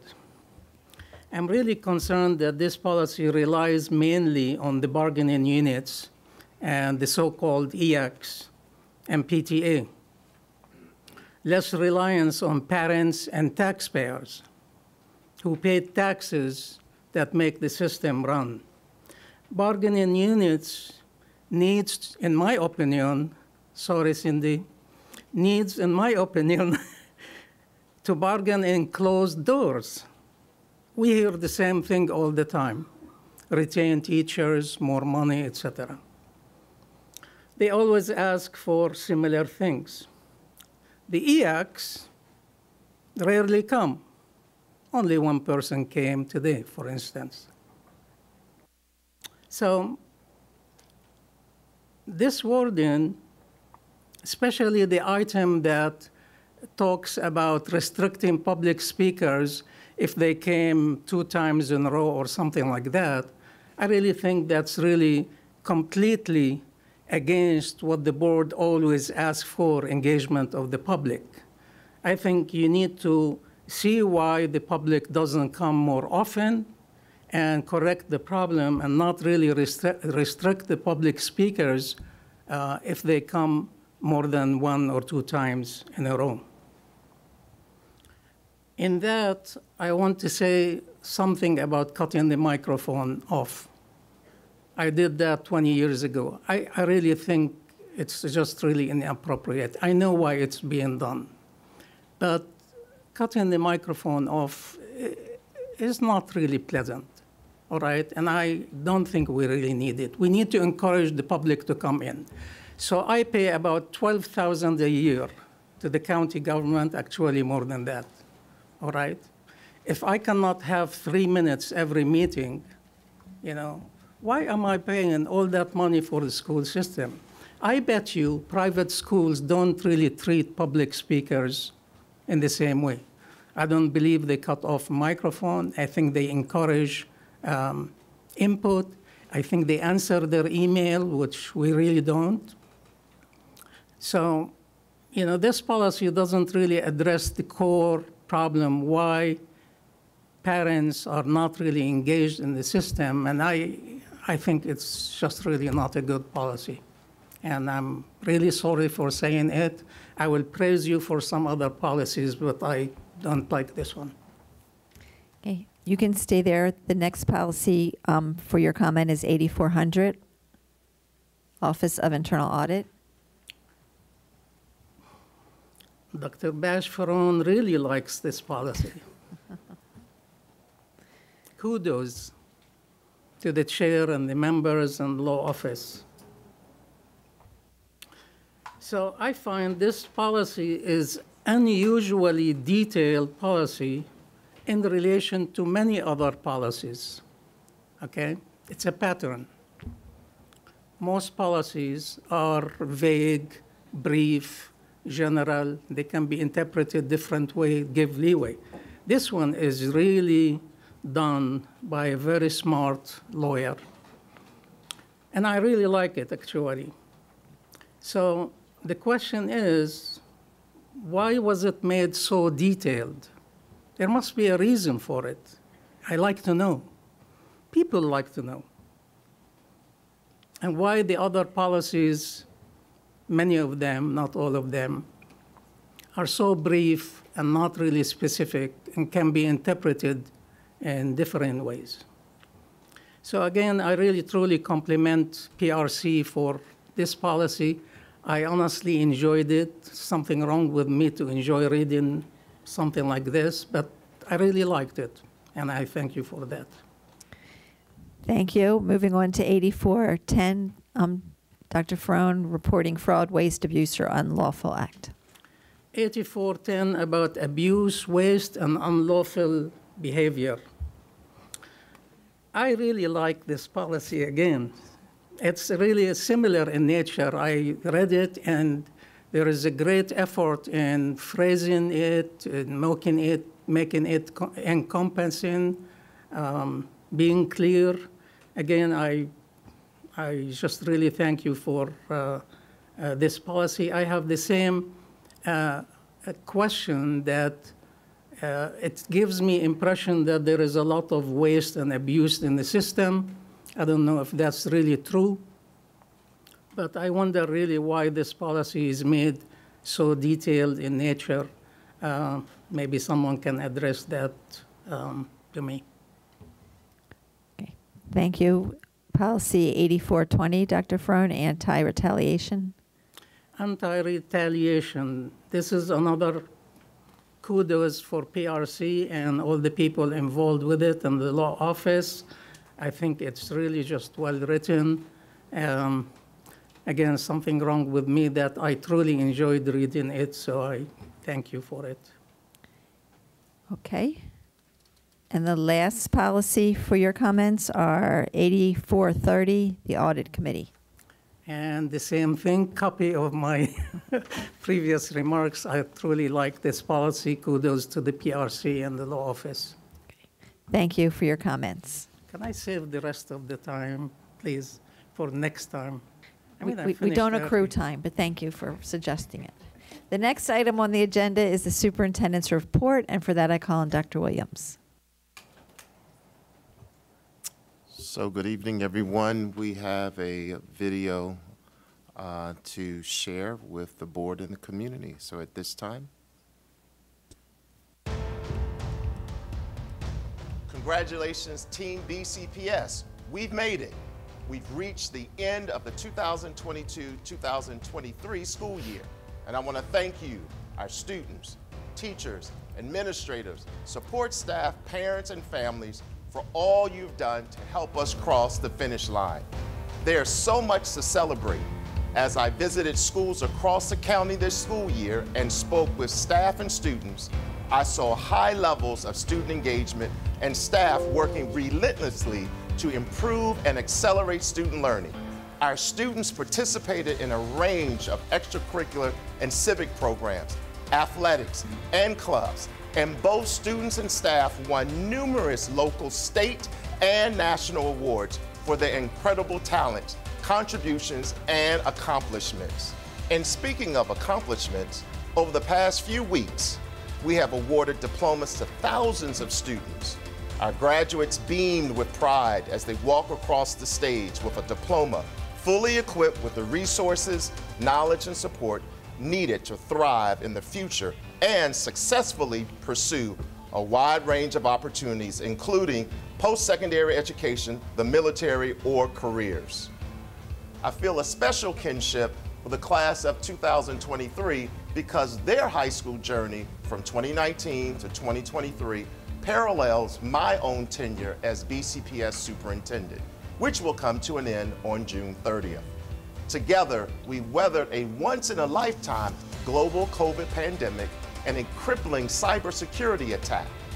The challenges we faced spurred innovation and greater collaboration across Team BCPS.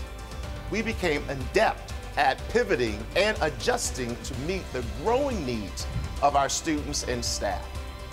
Like our graduating seniors, I have spent the last four years working hard to achieve my goals and, along the way, having truly unforgettable experiences. I'm very proud of the work we have done together to raise the bar, close gaps, and prepare our students for the future. Let's take a look at some of our accomplishments over the past four years that are aligned with the five priority areas of our strategic plan, the Compass. Learning, accountability, and results. We have lengthened student days to provide additional time for learning, as well as expanded our academic resources and supports to students during the school day, after school, on Saturdays, and through our summer programs. Invested additional funding in career and technical education programs. Currently, 51.5% of BCPS high school students take CTE courses, which is the largest percentage of school systems in the state, made significant gains in advanced placement exam participation and performance, expanded access to dual enrollment and tuition-free programs at CCBC for all BCPS high school students, and created the Black Boy Joy and Genius Initiative for middle school boys to improve the educational experiences and outcomes for black boys in BCPS. Safe and supportive environment. We have prioritized social emotional well-being by including funding for additional school counselors and social workers. Launched a new program that placed safety assistance in all secondary schools. Elevated the importance of student leadership and voice to tackle safety concerns by working with student leaders from Baltimore County student councils and junior councils to launch peer-to-peer safety campaigns and expanded training for BCPS staff on de-escalation strategies. High-performing workforce and alignment of human capital. We have created enhanced compensation packages for employees and provided recruitment and retention bonuses for all BCPS employees. Launched a comprehensive system-wide plan to improve staff climate and morale. Supported employee wellness by advocating for additional time off for staff to rest and recharge and improve collaboration with association leadership to ensure consistent, clear communication on initiatives to support the needs of Team BCPS. Community engagement and partnerships. We have grown BCPS business and community partnerships with more than 800 partners serving the system to date. Enhanced parent volunteer opportunities to support the schoolhouse hosted several town halls, community conversations, and in-person system meetings to build relationships, answer community questions and concerns, and brainstorm solutions. and expanded outreach to multilingual families and secured additional resources and partnerships to support the needs of our growing ESOL population. Operational excellence. We have implemented more than 150 efficiency review recommendations, developed multi year improvement plans for all schools, opened a customer service center that provides BCPS employees and retirees with assistance and solutions to a range of questions, and overhauled and reimagined operations to improve efficiencies in transportation. These examples are just a snapshot of what we have accomplished working together in support of our 111,000 plus students. I am grateful for Team BCPS teachers and staff who thrive to provide our students with a world-class education, for our students whose unique lived experiences inspire and encourage me, and for our families and communities that partner with us to ensure our students can meet their highest potential. I'm proud of our school administrators who continue to lead their schools as instructional leaders and work diligently to address the academic and social emotional needs of our students. I deeply appreciate the efforts of our support staff who are often the first and last faces our students see and who work behind the scenes to create optimal environments for teaching and learning. It has been an honor to serve as your superintendent. I wish every member of Team BCPS the very best, and I know that BCPS is well poised to make progress towards eliminating disparities in academic achievement and will advance equity and excellence for all students.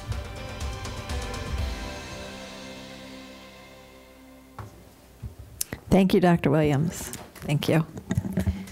We can clap.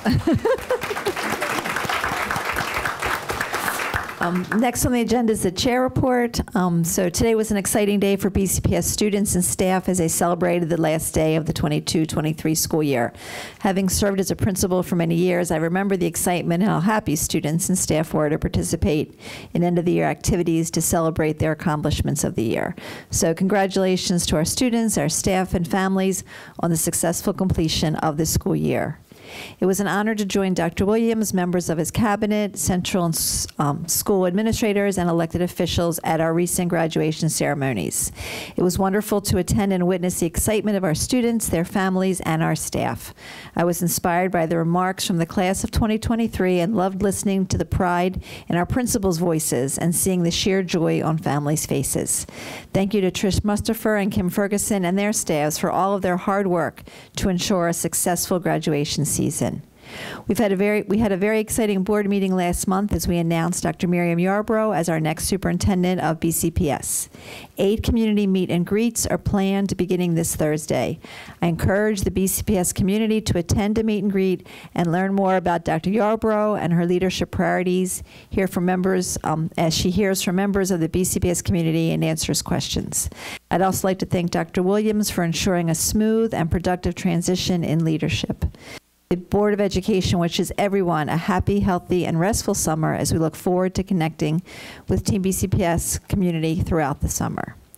And next on the agenda is Ms. Hassan's last um, student board member report. Guys, don't say it like that. I might start crying again. True. I'm kidding. Um, hopefully.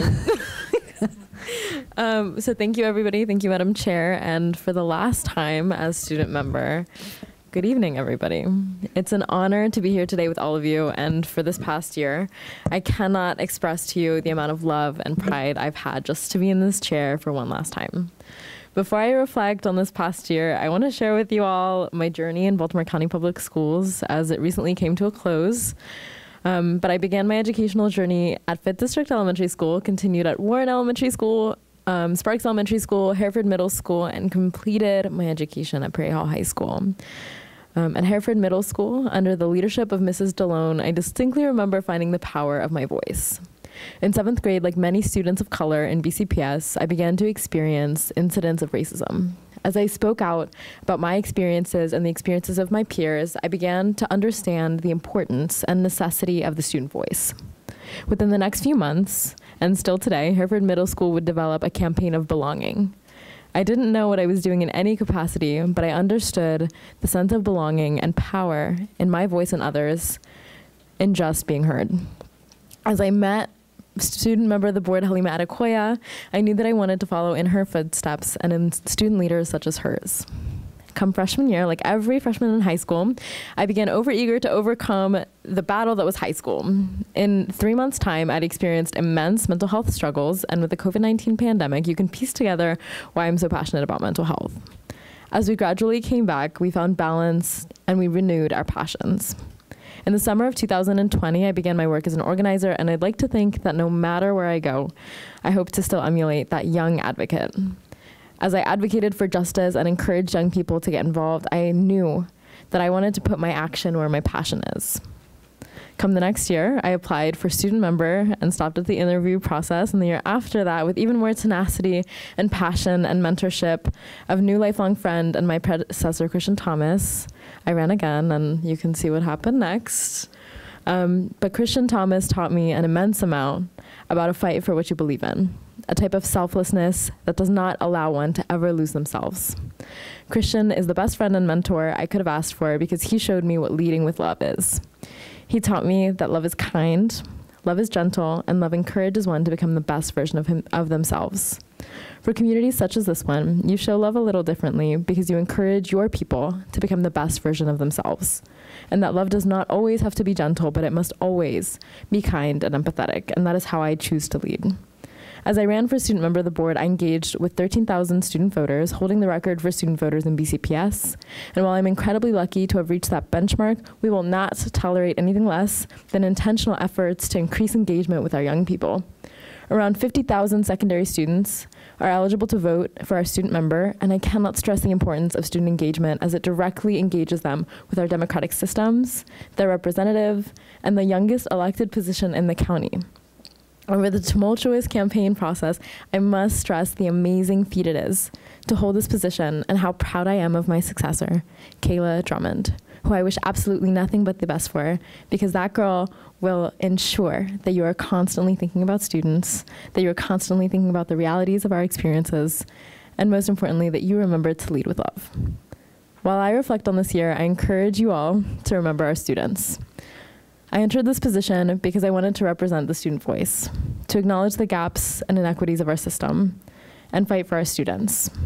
Board members, every single one of you shares the same exact goal to support our students, to give them the best we can offer, and to understand that we must raise the bar for what it means to succeed. We must always acknowledge the fact that as hard as we work, there will always be an endless amount of work to do until we have opportunities for every single student, until we meet every student where we are, until we acknowledge the gaps between this space and our schoolhouses, we have an endless amount of work to do. And I expect you all to continue fighting for our students unconditionally. I expect you all to challenge your own thinking and strengthen our community with love and empathy. As the 42nd BCPS student member of the board, I'm honored to have represented 111,000 students I've held voting rights on many, many issues, excluding the budget, but I'm also honored to have served as the chair of the legislative committee this past year and secure budgetary voting rights for our next student member with necessary training for every single board member offered to you all, but especially for our student member as she engages with the budget and most importantly engages in our system. I visited every single middle and high school in the county, as well as some elementary schools, um, and through that, I met the most incredible students that I hope all of you have the privilege of engaging with because they truly remind me every day why I do what I do and why you do what you do because those students will truly change the world one day. And they're changing the world right now as we see it. So through that, ooh, um, as we secured voting rights and visited all of these schools, and we, I must stress the importance of also the work that we put in right here on this dais.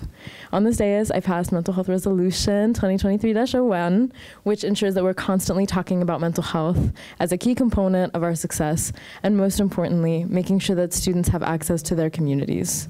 So for me, it was essential to get the work started, and I'm sure some of you get a, a glimpse as to why. Um, but I also want to acknowledge how today I want to fight for my position one last time, as there were remarks um, regarding my position and, and regarding the position of the student member in regards to the student engagement policy. So I was in I was in the room as we as we honed in on, on rewriting that and reworking that policy and, and making sure that it was um, accessible for our students. But so that policy um, especially focuses on extracurricular activities, student engagement, and making sure that students are actively part of our system. Our student members represent 111,000 students, and I acknowledge I don't see every every 111,000 student today, um, but I have met with focus groups from every single school, every single secondary school in Baltimore County Public Schools. Um, most importantly, our students do not serve as the direct voice of 100 each 111,000 students, but rather as a representative of them all. So our student member um, speaks from their experience, speak from, speaks from their peers' exper- experience, and most importantly, speaks from the collective experience from what they've learned. They have put in the work, I have put in the work to understand the nuance and the discrepancy of each of our students. I, in my high school year, um, I do want to um, sort of comment on the fact of, of workload because I want to make sure that everybody knows going in um, the you know the power of the student member and how um, how important it is that we, we do advocate for them.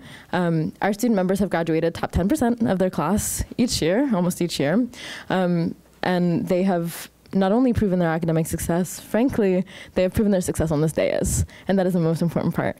Um, I'm, I'm very, I think it's very important that we discuss the importance of our student voice in such a way that doesn't, you know, diminish them as, you know, as, as only a young person, because these people are young people with power, and they're young people who are passionate about making our school systems a better place.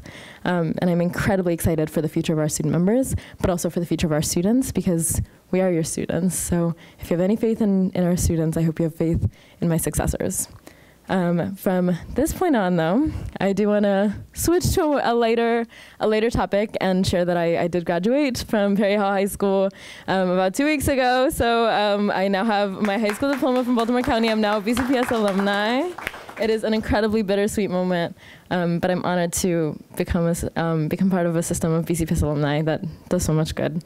Um, so I also want to take a moment to thank my mentors, to thank you guys all on the board. I might cry during part, guys. Might, this might be what does it for me.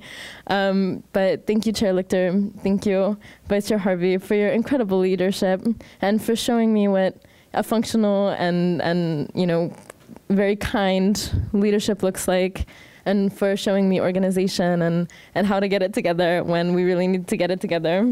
Um, thank you, Dr. Williams, for first of all matching with me with the Terp merch. I appreciate it. but, but most of all, for being an incredibly kind and supportive friend for me this past year. And for laughing with me about absolutely everything this past year. Yep, this is what'll do it for me.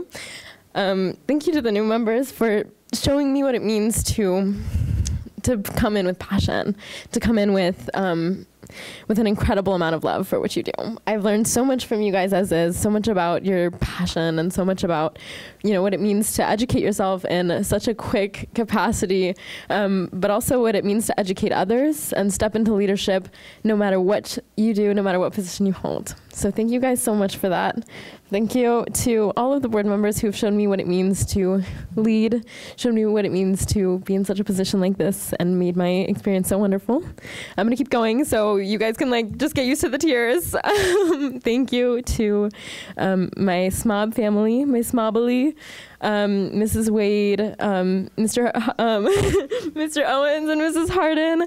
Um, you guys have truly created a safe, a safe space for me this past year, and I truly would not have um, been able to get through any of it without all of you guys. You've shown me what it means to be a kind person and, and to grow as a person and not just as a leader. Um, but these people, um, Mr. Owens and Mrs. Harden, also came with me on almost every single school visit after January. Um, so I also got to, you know, look at student engagement in a totally different light and a totally different perspective. And I truly could not have, you know, made a lot of the impactful change and written all of these policies without all of them. So thank you guys. I'm gonna keep going again, but I'm gonna be really fast, I promise, because I know we're like running short on time. Um, but most importantly, I just want to thank Dr. Yarbrough, who's coming in. I'm so excited for you. You've truly shown me what it means to be an incredible mentor. Um, and I'm gonna like end it on thank yous because I know we're running a little short on time, and I do not want to be here until 10:35, guys. I looked at the schedule too. um, but I do want to share with you guys just a little bit about what's next for me um, as I continue to thank everybody and hopefully stop crying. Um, so I'm headed next year. Um, I will be a freshman at the University of Maryland, if you couldn't tell. Um, I thank you. Um, I'll be pursuing a dual degree um, in public policy and government and politics international relations. Um, I've received scholarship, the delegate and senatorial scholarships, as well as the public policy Robert L. Mitchell scholarship. And most importantly, before I end things off, I just want to let everybody know that this is home, and you don't ever leave home without coming back with something new, and hopefully making it a little bit better. So, for the final time. Maybe I'll get in good trouble. Thanks, guys. Thank you.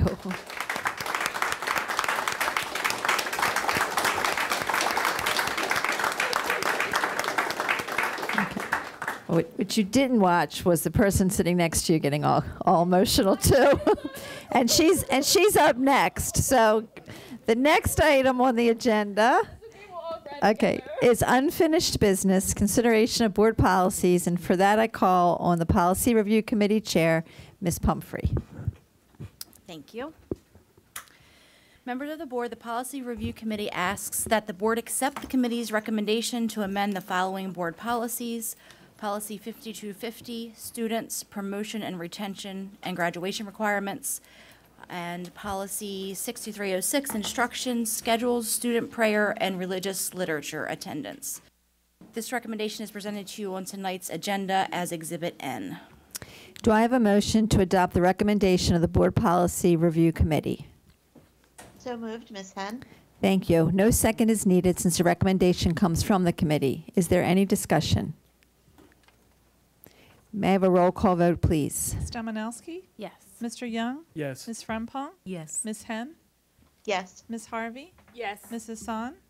Yes. Ms. Pumphrey? Yes. Dr. Savoy? Yes. Mr. McMillion? Yes. Ms. Booker Dwyer? Yes. Ms. Lichter? Yes. Thank you. Thank you. The next item on the agenda is the consideration of the Central and Northeast Area Middle School Boundary Study Recommendation. And for that, I call Mr. Dixit. And friends, I think.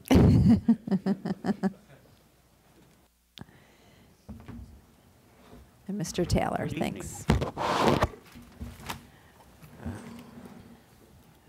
My name is Pete Dixit. I'm Executive Director for Facilities Management and Strategic Planning. I'm joined by, uh, joined with me is my team member, Mr. Paul Taylor. He's Director of Strategic Planning. So, good evening, Chair Lichter, Vice Chair Harvey, Dr. Williams, and members of the board. We are here to request board approval on the recommendation of the Central and Northeast Area Middle School Boundary Study.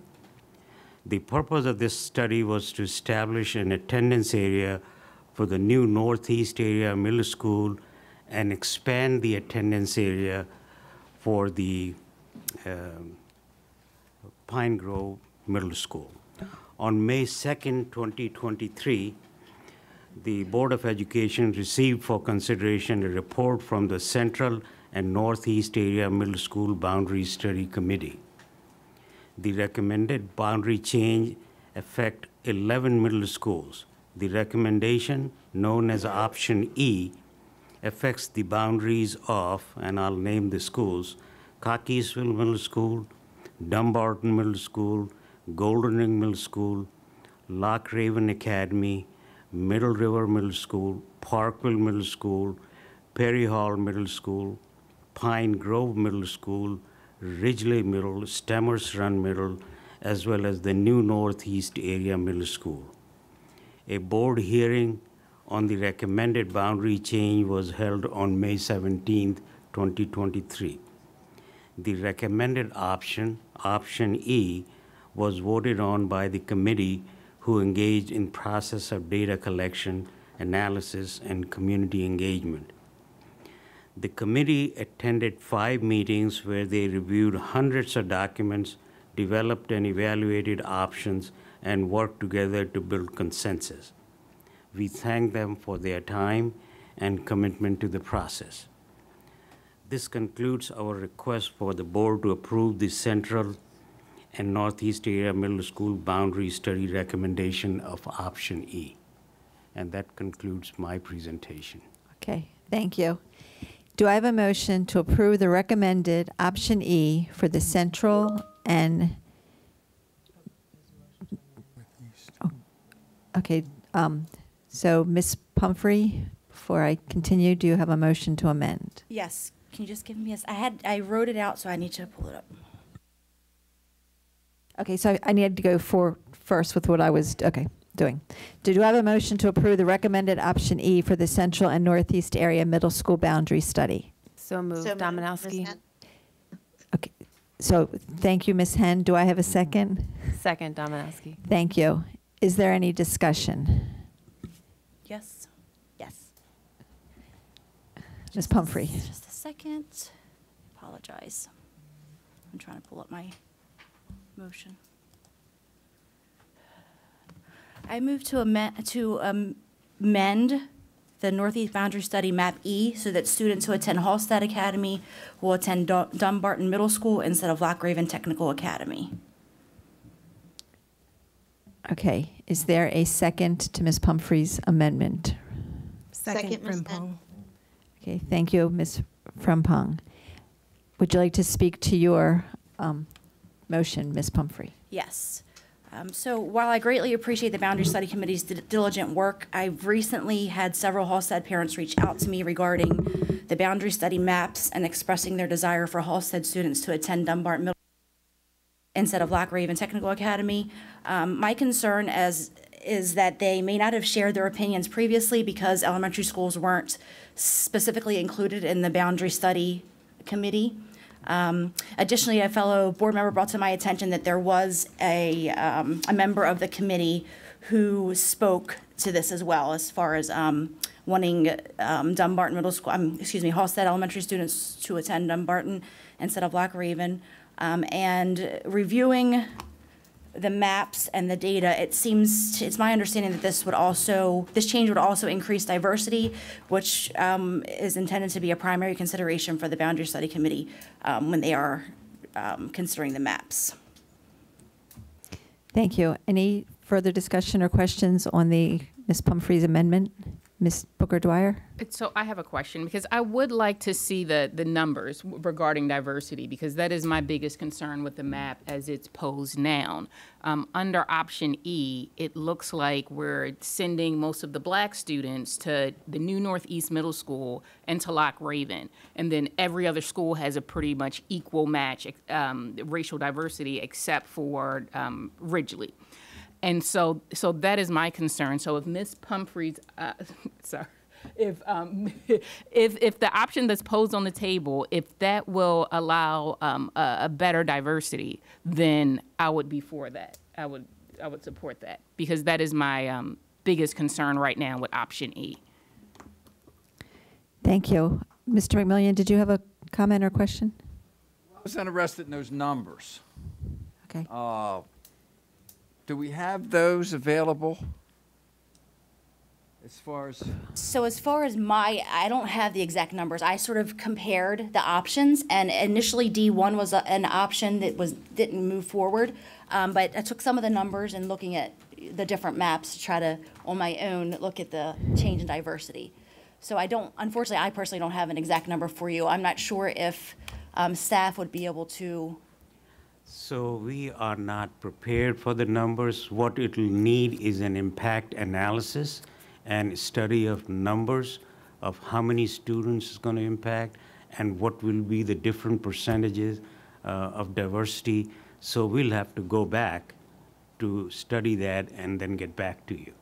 And I do apologize for asking, for bringing this up now, but as I mentioned, I didn't hear from these parents until recently, and um, it was also brought to my attention by another board member, and we, you know, thought that this was a concern that needed to be addressed. I would have asked previously if I had gotten the questions from the parents in advance. So I wanted to apologize for that. Ms. Domanowski? Uh, I'm just looking at the current boundaries, and Halstead Academy is currently, right now, without the change, was already going to Loch Raven Academy. 99% of their um, students were going to Hall, to Loch Raven and 1% were going to Park, Parkville with, before pre-change. So I'm, I'm just wondering why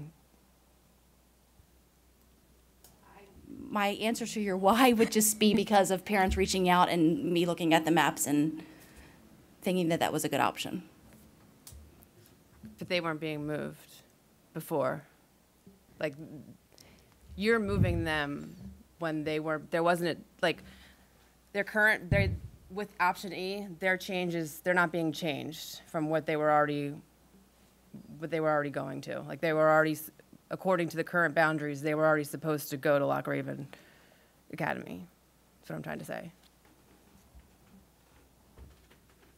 But the amendment is to move them to Dumbarton Middle. Is that correct? F- Not Loch Raven.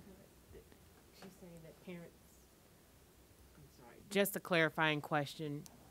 Ms. Pumphrey, are you saying that parents reached out and said they would like the change, they, they were requesting? So Go to this was discussed at some of the meetings, some of the um, Boundary study. boundary study meetings, um, and with the committee. And um, some of the options that were previously on the table but didn't move forward were sending Halstead students to Dumbarton. So they liked those options, but unfortunately, those maps did not move, move forward. Uh, Map E moved forward, but with that adjustment, it would include those concerns that the parents brought up during those co- committee hearings. Okay. Ms. Frempong, did you have your hand up before? I did. Um, I'm just looking at the handout that's attached, and I think there was a question about, I don't know what the new numbers would be, um, but within the handout that's attached, um, the breakdown for the demographics shows that the current, so for example, at Loch Raven Academy, it's currently 66% black, 18% white, and then 8% Hispanic and 60% farms. Um, Halstead Academy is a predominantly black, a predominantly, a school that has predominantly black students. Um, and so that would end up increasing, um, for Dumbarton, Dumbarton's at nine percent Asian, sixteen percent black, fifty-two percent white, six percent multiracial, seventeen percent Hispanic, thirty-two percent farms, and twenty percent ELL. So that's page five of that handout. So that's the current, I'm sorry. And then, so option E is on page six. You'll see the demographics there.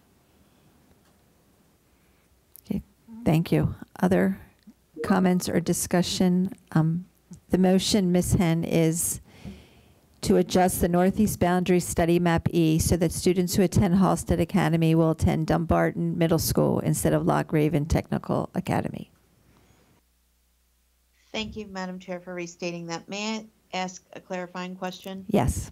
Ms. Pumphrey? Thank you.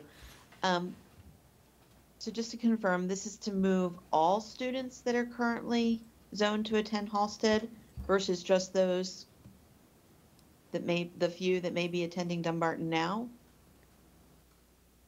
My understanding is that MAP E, which we were, we were initially moved to approve, is sending all Halstead students to Loch Raven Academy, unless I'm misunderstanding that. So the motion would be to instead um, have Halstead students attend Dumbarton Middle School. So all students, regardless of where they're currently zoned? If they're zoned for Halstead. I'm sorry, all Halstead students? Yes. Regardless of where they're zoned now, to move them all to Dumbarton? Yes.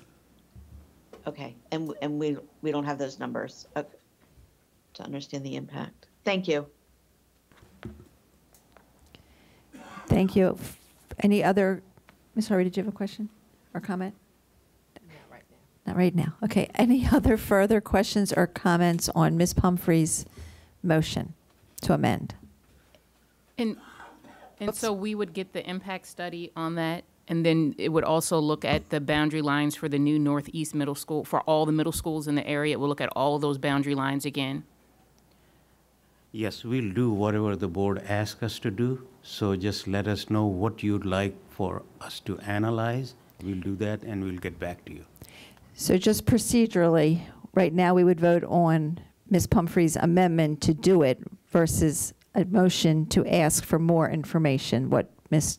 Booker Dwyer is saying, correct? Okay. So Ms. Pumphrey's motion is to adjust the map to move Halstead Academy kids to Dumbarton instead of Loch Raven Technical Academy. Okay, Ms. Harvey. May I offer a friendly amendment? Okay, so what was- Friendly, it's a friendly amendment to um, amend the motion to provide the impact study on um, moving from moving. Halstead to Dumbarton.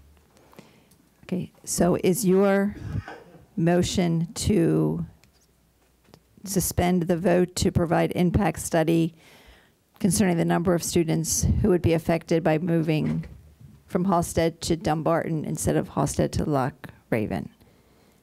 Is, whoops, she's not there. Okay, go ahead. I just need to You clarify. You phoned a friend and they said, Friend phoned me. go ahead. So my amendment is to strike the change in moving students from Halstead to Dumbarton and add that we be provided an impact study on the, on changing the students from Halstead to Dumbarton. Okay, Point of order, Madam Chair. I believe that would require a new motion. okay. Um, One, Amending the amendment. Right. Ms. Harvey is amending the amendment to strike the change in moving Halstead Academy students to Loch Raven to Dumbarton and add an impact study. Did I get that correct, Ms. Harvey? And provide an impact study on that move from Halstead to Dumbarton. Okay. Madam Um, Chair, point of inquiry. um, Yes, Ms. Henn? Yes, um, I don't believe that's a proper, um, amendment to the motion on the floor. If we could Okay. receive advice from council. Yes, we're getting it needs it. to be a new motion. Thank you. Okay.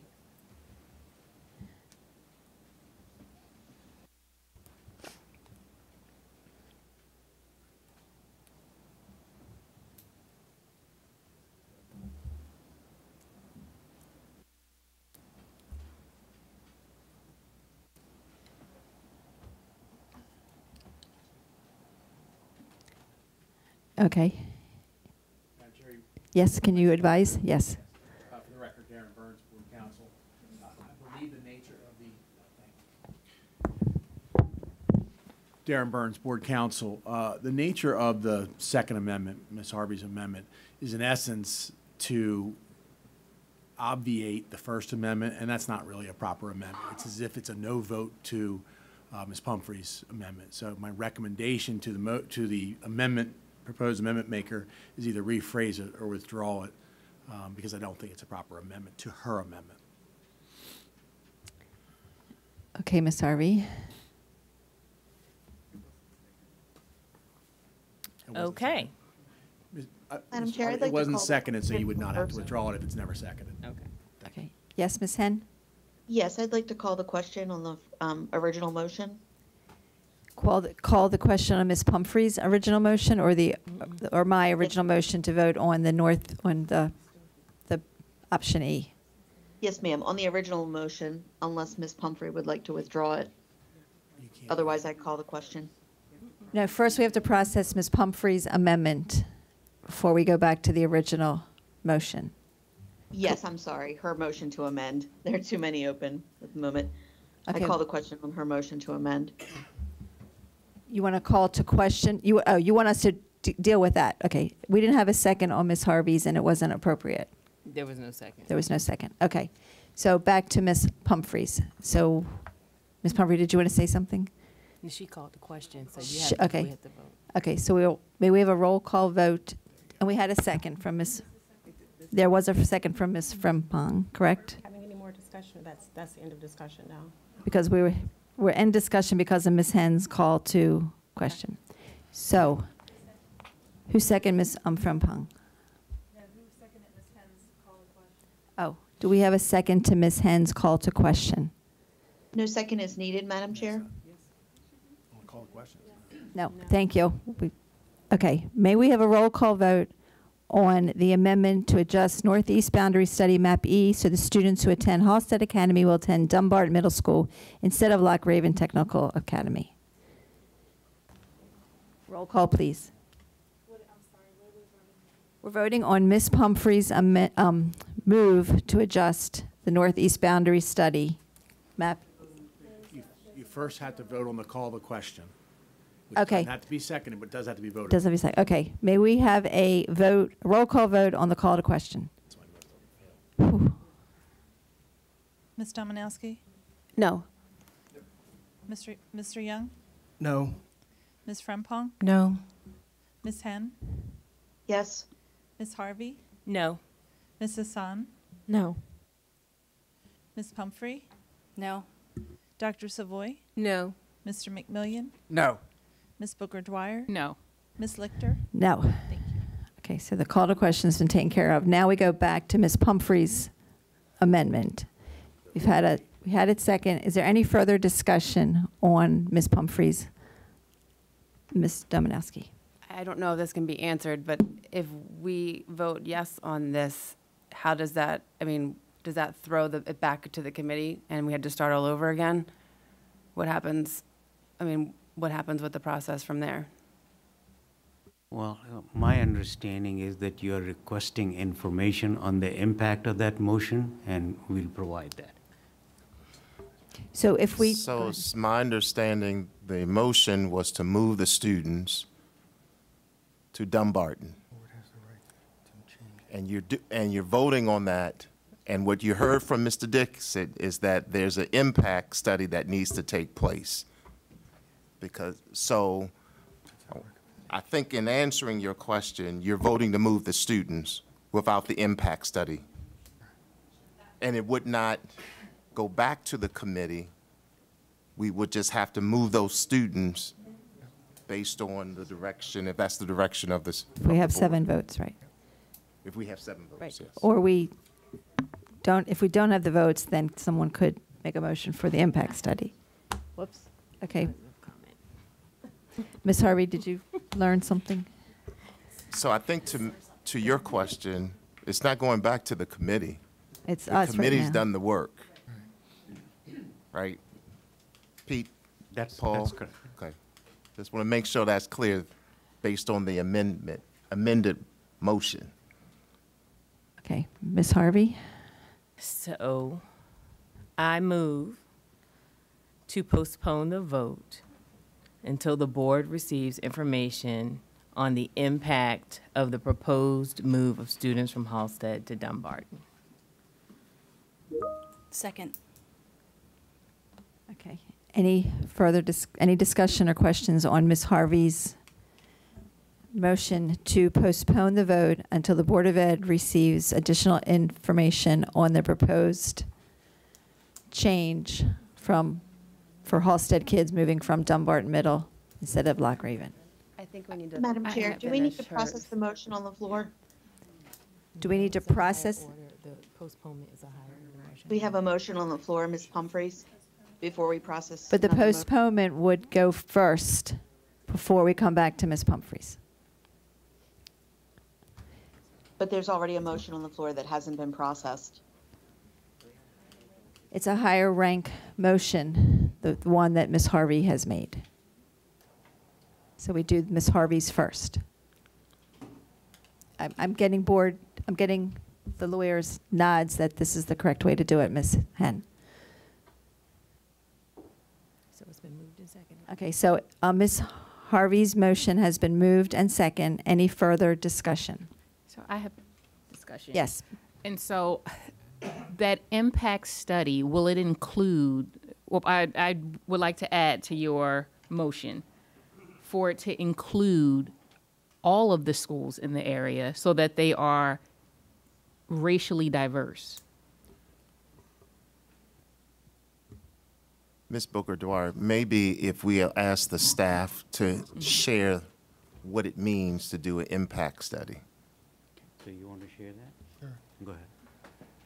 Thank you. Uh, Based on what I've heard, what we would plan to do is change the boundary to reflect moving all students from Halstead Academy to Dumbarton, and then rerun all the numbers, the demographic numbers, the enrollment numbers, et cetera, utilization, and then update that report, update the report that you already have with new numbers.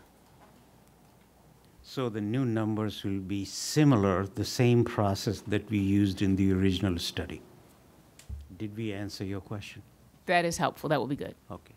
Okay, may I have a roll call vote on Ms. Harvey's motion to postpone the vote until the board receives additional information on the proposed change from the Halstead Academy students attending Dumbarton instead of Loch Raven Technical?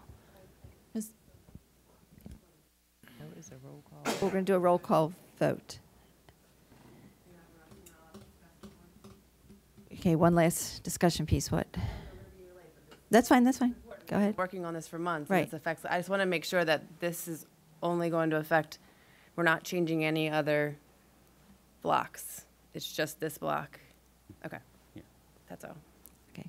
Thank you. Okay, now roll call vote, please. Ms. Ma- Domanowski? Madam Chair, to Ms. Domanowski's point, Um, We, doing a roll call vote at this time. Ms. Domanowski? I was going to ask, my hand was raised to restate the motion because it does sound like what staff are saying is that they're going to rerun all of the numbers, and the committee worked for months on this plan, and it sounds like we're unraveling. I don't want to do something unintentionally, which is to reopen this study when the work has been done. If we're just talking about, like Ms. Domanowski said, these particular students, that's one thing. It's another to reopen the entire boundary process. And I want to be crystal clear before I vote, which is it? Do you want to restate your, your motion? The motion is to postpone the vote on the boundary study until this board receives an impact analysis on the proposed move of students from Halstead to Dumbarton. Thank you. Roll call vote, please. Ms. Gover? Ms. Domanowski? Yes. Mr. Young? Yes. Ms. Frempong? Yes. Ms. Henn? Yes. Ms. Harvey? Yes. Ms. Pumphrey? Yes. Dr. Savoy? Yes. Mr. McMillion? Yes. Ms. Booker Dwyer? Yes. Ms. Lichter? Yes. Thank you. Motion passes. Thank you. Thank you, gentlemen. Thank you. The next item on the agenda is the consideration of the final FY 2024 operating budget, and for that, I call on Mr. Hartlove.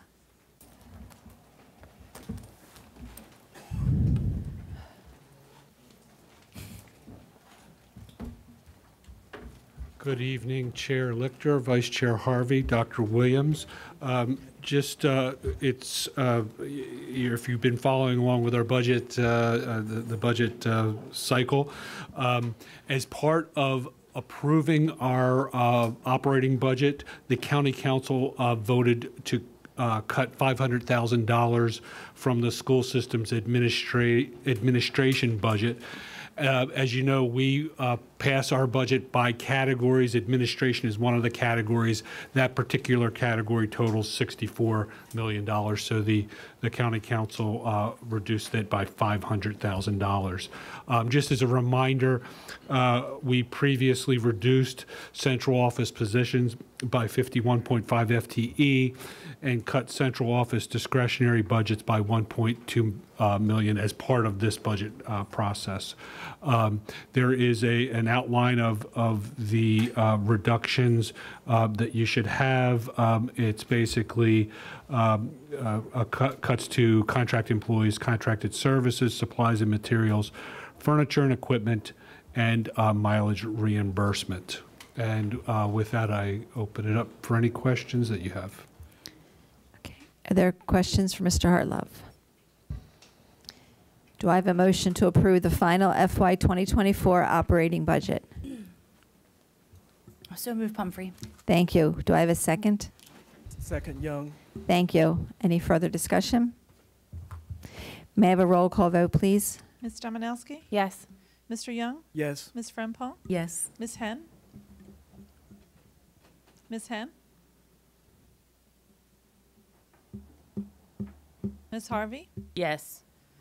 Sorry, yes. It wouldn't Ms. unmute. Henn? Thank you. Ms. Pumphrey? Yes. Dr. Savoy? Yes. Mr. McMillion? Yes. Ms. Booker Dwyer? Yes. Ms. Lichter? Yes. Thank you. Thank you. Passes. The next item on the agenda is action taken in closed session, and for that I call Mr. Burns.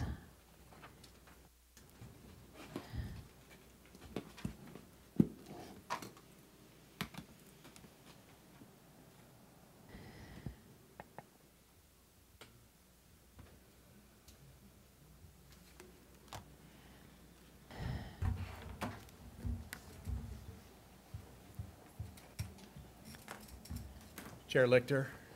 Yes. Dr. Williams, member of the board. Oh, thank you. In closed session, uh, the board took up a matter of, well, one of the matters it took up was the contract with the superintendent. Um, There was a prior vote to it. If the board would uh, take a motion to uh, adopt the action it took in closed session, if any. I thought we, we didn't do it yet? I thought we did it. Yeah, we did it. Yeah, and that's the only, that Oh, would be the only one. Okay, so we're, Like, you're thank good to you. go. Okay. Okay, thank you. Um, The next item on the agenda is the report on board policies. This is the first reader for these policies, and for that I call Ms. Christina Pumphrey, Chair of the Policy Review Committee. Thank you. Members of the board, the Policy Review Committee asks that the board accept this report of the committee's recommendation to amend the following board policies. I don't know if I should say this now, but I'd like to pull out Board Policy 8315 to discuss separately. 8315, okay. And um, so, uh, Board Policy 5000, Board Policy 5330, Student Activities, Student Engagement, Board Policy 6002, Instruction, Selection of Instructional Materials, uh, Board Policy 8400, Office of Internal Audit, Board Policy 8410, Reporting Fraud, Waste, Abuse, and uh, or Unlawful Act, Board Policy 8420, Anti-Retaliation, and Board Policy 8430, Audit Committee. These policies are presented to you on tonight's agenda as Exhibit R. May I have a motion to accept the recommendation of the Board Policy Review Committee for Board Policies 5000? Motion to amend or to send back or something. Sorry, um, I, I just, or to pull out one of the policies and discuss.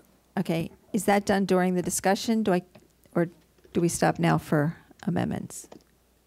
Because I thought you just pulled out one to separate. Right, okay, so which one do you want pulled out, Ms. Domanowski? 5330.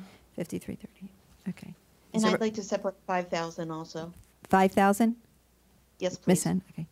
Okay, so, may I have a motion to accept the recommendation of the Board's Policy Review Committee for Board Policies 6002, 8400, 8410, 8420, and 8430?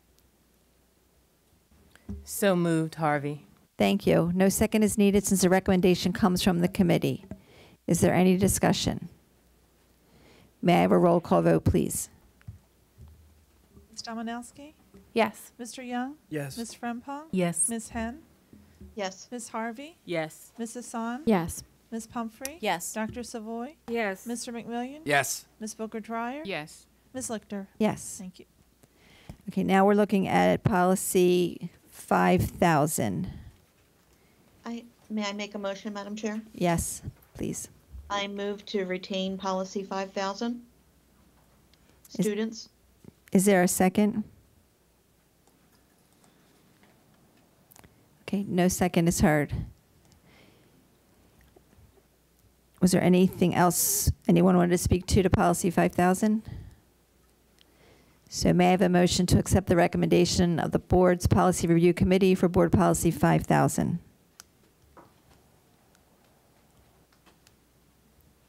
So moved, Young. Thank you. Um, No second is needed since the recommendation comes from the committee. Any further discussion on policy 5000? May I have a roll call vote, please? Ms. Domanowski? Yes. Mr. Young? Yes. Ms. Frempong? Yes. Ms. Henn? No. Ms. Harvey? Yes. Ms. Hassan? Yes. Ms. Pumphrey? Yes. Dr. Savoy? Yes. Mr. McMillion? Yes. Ms. Booker Dwyer? Yes. Ms. Lichter? Yes. Thank you. Okay, moving to policy 5300, 50, 5330. Is there, is that the one, Ms., oh, Ms. Domanowski? Yes, And I'm now realizing I might have the wrong policy, but um, during Budget Committee, um, we had a motion to Um, Upon the motion of Ms. Henn, seconded by uh, Ms. Domanowski, the committee voted to request the Policy Review Committee to ask staff to bring a policy recommendation to the committee regarding student member participation, participation on the Budget Committee. Um, I don't know if it's actually, this is the policy that I needed to address. Can you, uh, is? It- is- To send back to So add to that. 5330 was. I can speak to this one. Um, 5330 does not refer to the budget committee. Um, No, ra- I- none of them do. That- Yeah. I'm going to add it to um, a, um, Do you want a policy review done? or, yeah, like a policy review to add something, to add um, par- the student members' participation, particip, I can't even say that word, participation in the budget committee as part, one of, as part of their role as a student member of the board. So you want to add to what's already in 5330? Yes. Okay. So is that a, That, is that part of 5330 or is that part of, or is, uh, that's what I'm saying, it might not be that policy, is, if Um, So I'm looking at, I'm just seeing if this is what you're referring to. I'm looking under standards where it says student member of the board. Yeah. Is that where you think, you're Yeah. thinking it? But that might not be this activity one, so that might, might be where I'm confused. Ms. Hassan? Um, so I, I can speak to this one. Um, so as I as I was coming on, I, I spoke to many people about the budget committee. Um, just as you know, um, understanding the fact that our uh, currently I don't hold a vote on the budget, um, but my successor will. Um, with that power, however, also comes the autonomy to decide whether or not they would like to be in the budget committee. It is essential that the student member receives training, which is why that's in the law. However, it is truly up to the student member what they choose to pursue. I and know as much as I, I love the the pattern that we've created in the student member holding leadership in the legislative and governmental relations committee, um, I would not ask my successor to hold that position right after me because I truly don't know if she has a, a passion or interest or is able to engage with that. And I think it's important that we're putting our student member in committees that they are engaged in. As someone who was in committees that I was not engaged in, I was not able to formulate opinions that would, you know, impact positively impact, you know, my my viewpoint or the board's. I think that's why I'm sending it to policy to discuss, so we can discuss that at a later date and, and talk about why we would like, if, if they decide that no, I would still like to speak to that. Um, it, it- you're, you're going to be confirming a billion dollar budget, and I think that, um. Right, but as are won't- all I'm of not done you. talking. Um, it would, I- it's, it, we're not, you should be able to understand, um, and it's, you could, doesn't say you can't, you can still belong to any other, um, committee. But, um, and it's not saying you have to chair it or you have to vice chair it. It's just something that, to listen in on, um, and to be encouraged in, in policy. That's all. Okay, Ms. Pumphrey? I think that maybe this is something that needs to be discussed as if a policy is needed and maybe not necessarily added to um, 5330. That's my opinion. Okay, so may I have a motion to accept the recommendation of the Board's Policy Review Committee for Board Policy 5330? So moved. Harvey. Thank you. No second is needed since the recommendation comes from the Board. Any further discussion? Ms. Scoville, roll call vote, please. Ms. Domanowski? Yes. Mr. Young? Yes. Ms. Frempong? Yes. Ms. Henn? Yes. Ms. Harvey? Yes. Ms. Hassan? Yes. Ms. Pumphrey? Yes. Dr. Savoy? Yes. Mr. McMillion? Yes. Ms. Booker Dwyer? Yes. Ms. Lichter? Yes. Thank you. Thank you. Um, We are now, the last one, 8315. Ms. Pumphrey? Yes, sorry. Um, So I would like to move to amend this policy by inserting each of after allocated in under section 3B. Can you repeat that one more time, please? I want to uh, move to amend policy 8315 by inserting each of, the words each of, after the words allocated in under section 3B. Um, Second, Ms. Henn. Thank you.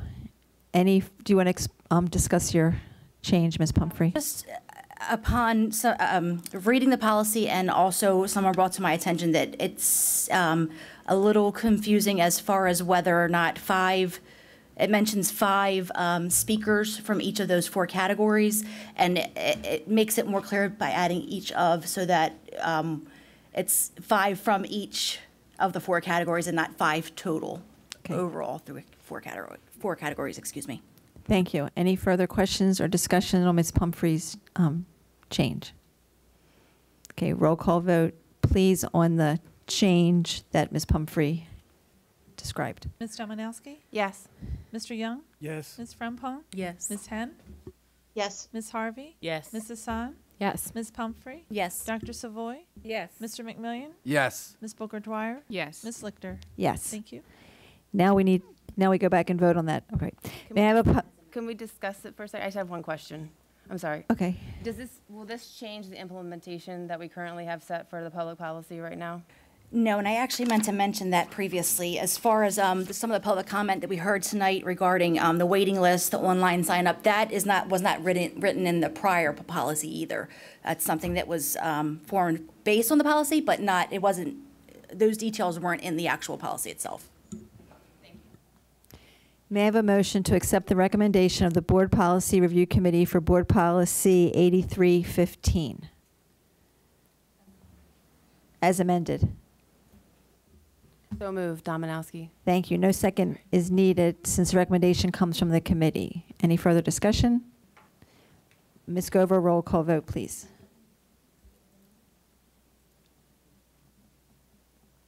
Ms. Domanowski?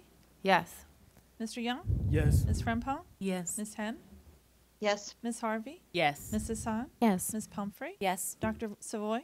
Yes. Mr. McMillion? Yes. Ms. Booker Dwyer? Yes. Ms. Lichter? Yes. Thank you. Okay, let me just scroll through these. Okay, next on the agenda is contract awards, and for that I call on Ms. Harvey, Chair of the Building and Contracts Committee. Thank you, Chair Lichter. Members of the board, the board's Building and Contracts Committee met on Monday, June 12, 2023. At this time, I would like to separate id- out items S20. Items S1 through S19 are being forwarded to the full board for approval. Do I have a motion to approve items S1 through S19? Can, can we discuss? After, yeah, that comes next. That's okay. Mr. McMillion, thank you. No second is needed since the recommendation comes from the committee. Any discussion? Ms. Domanowski? Sorry. That's okay. Um, I, I know I mentioned this the last meeting about getting more information with the contracts as far as, we have the contract authority, but what do we actually need to spend, um, right now? And I didn't know if that was discussed at, I'm sorry, I missed the, I wasn't able to view the meeting, but was that discussed in the last meeting? So, yes, we did discuss that in the meeting. Uh, We are working with the BCPS staff to update the recommendation form to include information that's uh, more uh, linear and connected in nature and uh, has more information pertinent to our decision-making. So I'm concerned only because there's two contracts in here, one for 25 million and one for 30 million, and they're brand-new contracts, and there's no really, it's just, it, we don't have an idea of who the contracts are with and what, it's over, if they're over five years, they can spend this amount of money, but we don't know what they're buying with that money. Are you requesting to separate those contracts out? I guess I would probably want to ask questions to the, um, it was, uh, it was number nine and number 10. Yeah, technology support staffing services, nine, and CWA ele- 11. Mr. Agosto, Mr. Hartlove, please come to the table. So prior to discussing S9 and S10, uh, I am moving forward items S1 through S8 and S11 through 19.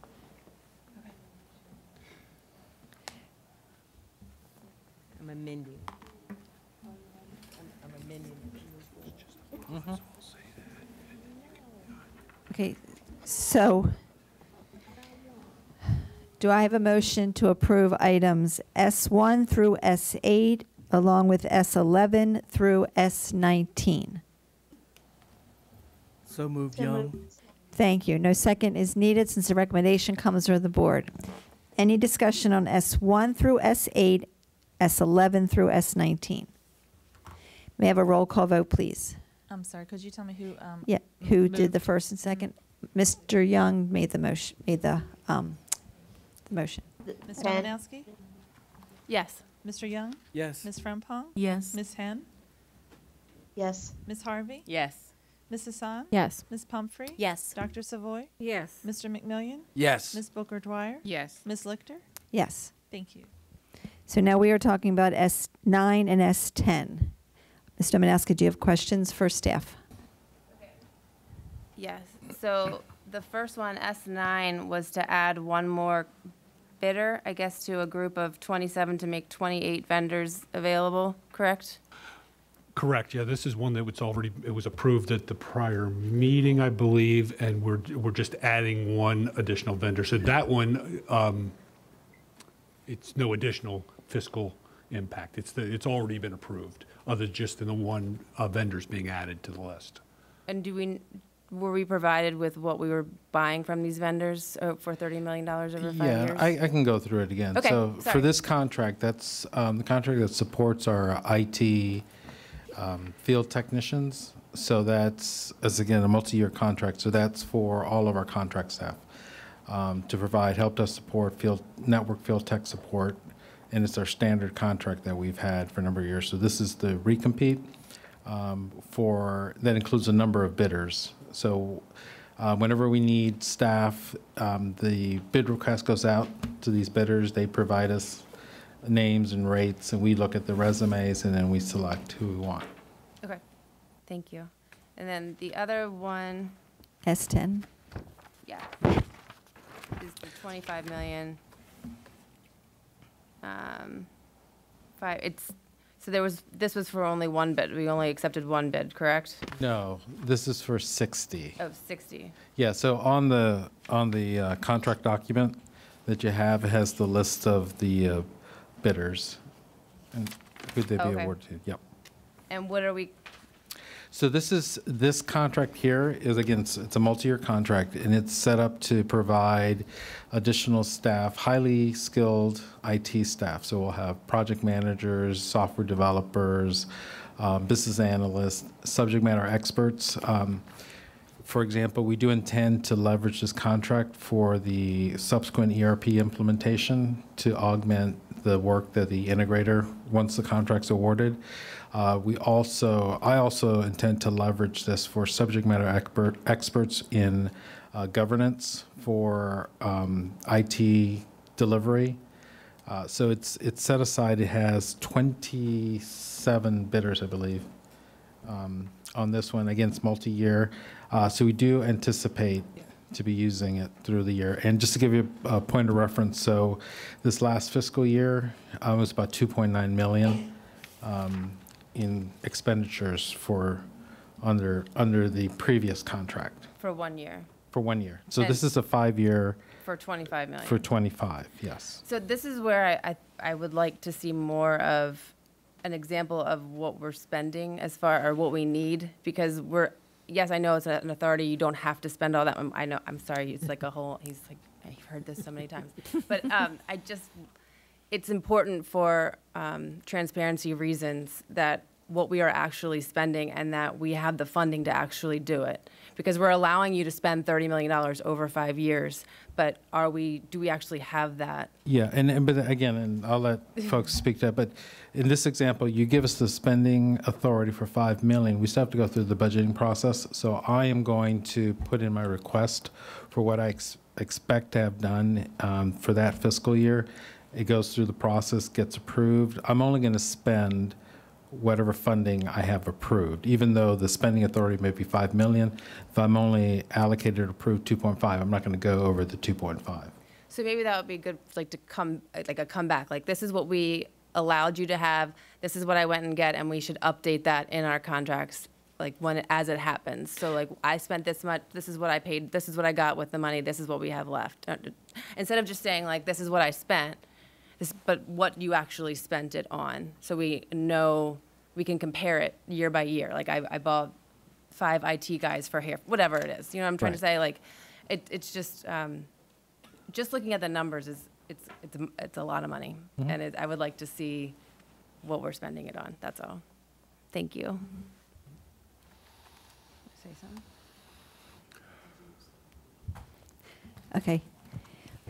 Any other questions about S9 or S10?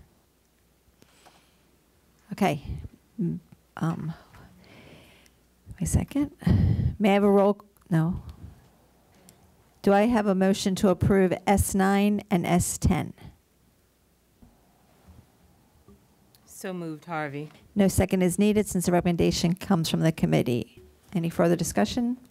May I have a roll call vote, please? Ms. Domanowski? Yes. Mr. Young? Yes. Ms. Frempong? Yes. Ms. Henn?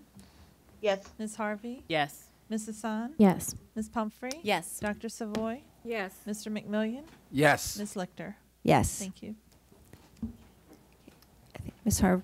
Thank you all. Thank you, Ms. Webster. thank you. No problem. Ms. Harvey, I think you Yes. have something else to I- say?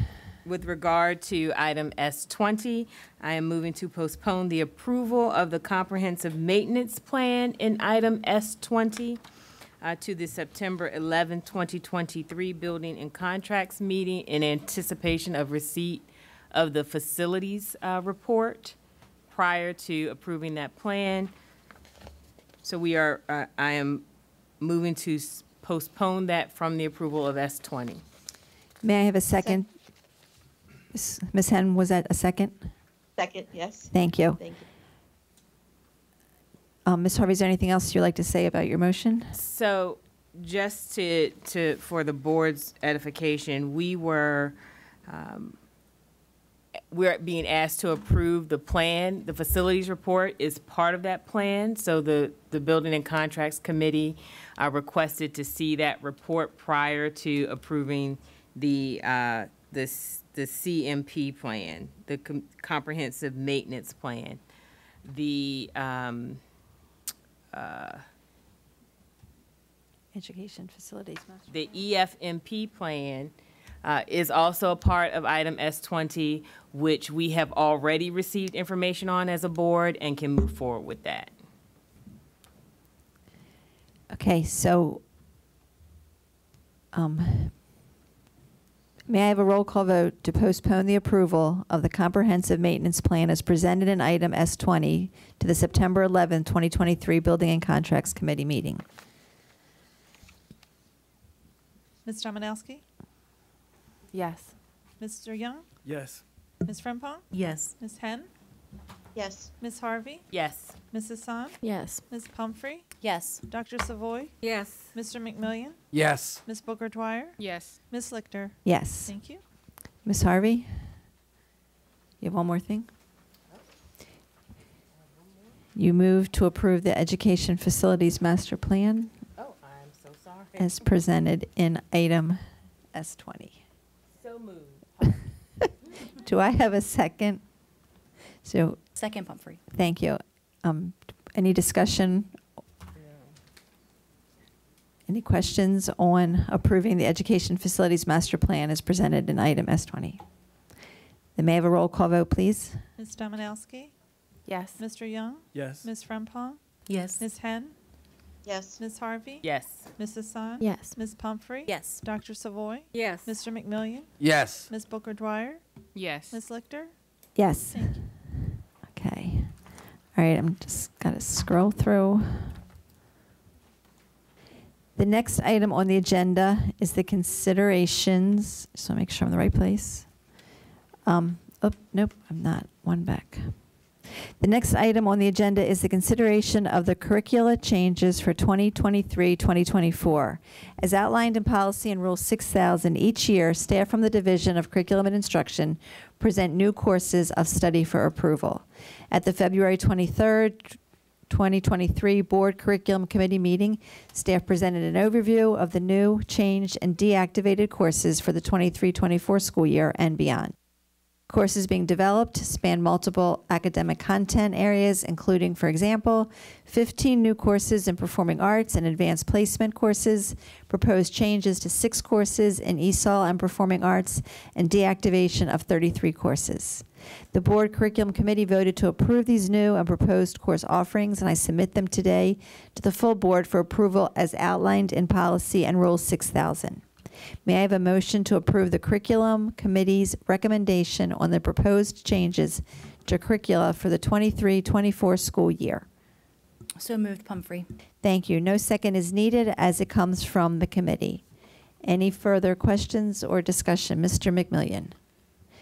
I think I'm going to. I going don't to, know who's going to answer these. uh, I think, um, And the two physical education fitness foundations with lab courses, it states all high schools will over, does that mean, or should it be offer? So we will one have credit Dr. fitness Boswell foundation class? McComas and Ms. Shea to come to the table and respond to these questions. So it, and both of them will offer, so they're going to offer the, the one credit class and 2.5 classes. Yes, sir, that's correct.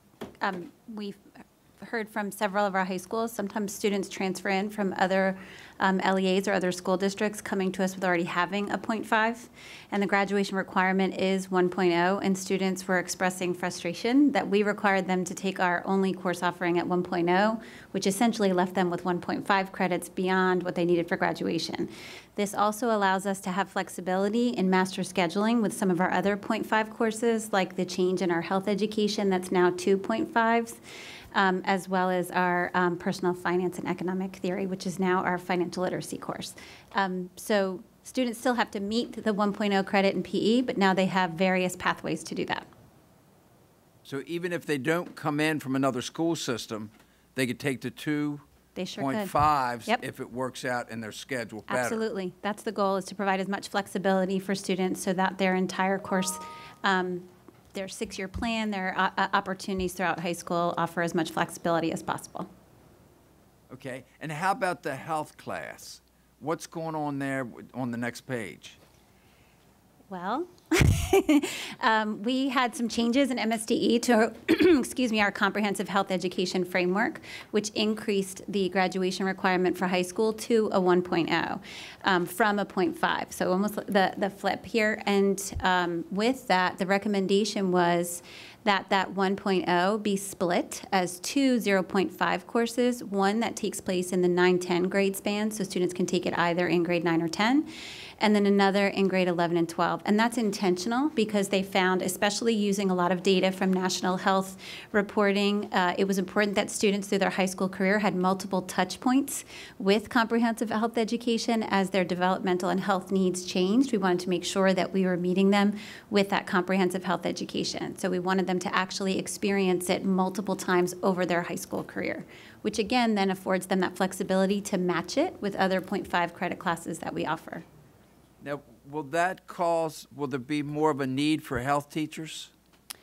Over time, yes. So what we found um, over time was that there was a, um, a small opportunity where we had students who were part of the old cohort that had to finish the old requirement of the way they were taking the health class. So we had about a two-year span as we were um, exiting students who were followed um, under the old cohort as well as the new students. So that actually has been last year and this year we were supporting high schools, um, but that will level out.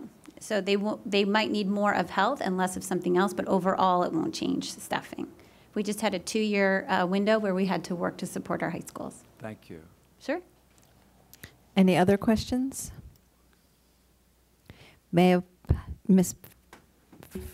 It's not, really- it's not really a question, it's just, it was part of what um, Board Member McMillion was saying, because it's, it says over instead of offer, and then there's also .05, so it's .5 Correct. credits? Okay. 0.5. Yes, we can edit that and make that correction. Thank you for letting me know, both of you. Thank you. Anyone else? May I have a roll call vote, please, Ms. Gover? Ms. Domanowski? Yes.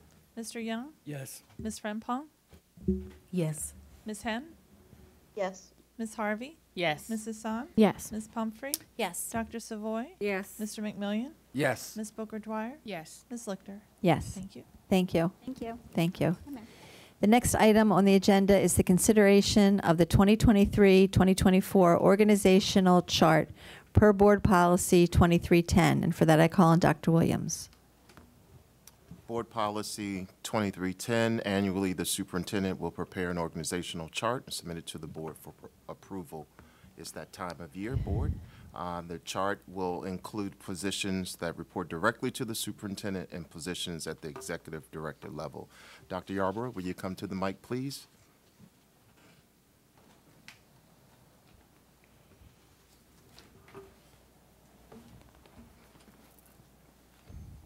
Thank you. Good evening, Chair Lichter, Vice Chair Harvey, Dr. Williams, and members of the board. As required by Policy 2310, positions at the executive director level and above are included in the FY24 proposed organization chart for your review and appro- approval. These changes focus our resources of people, time, and funding closer to schools to create experiences that enable all students to achieve improved learning outcomes.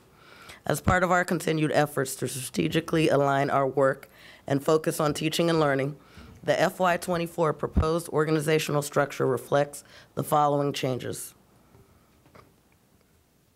One, based on the need to fast forward for the fall, we will postpone the hiring of a deputy superintendent.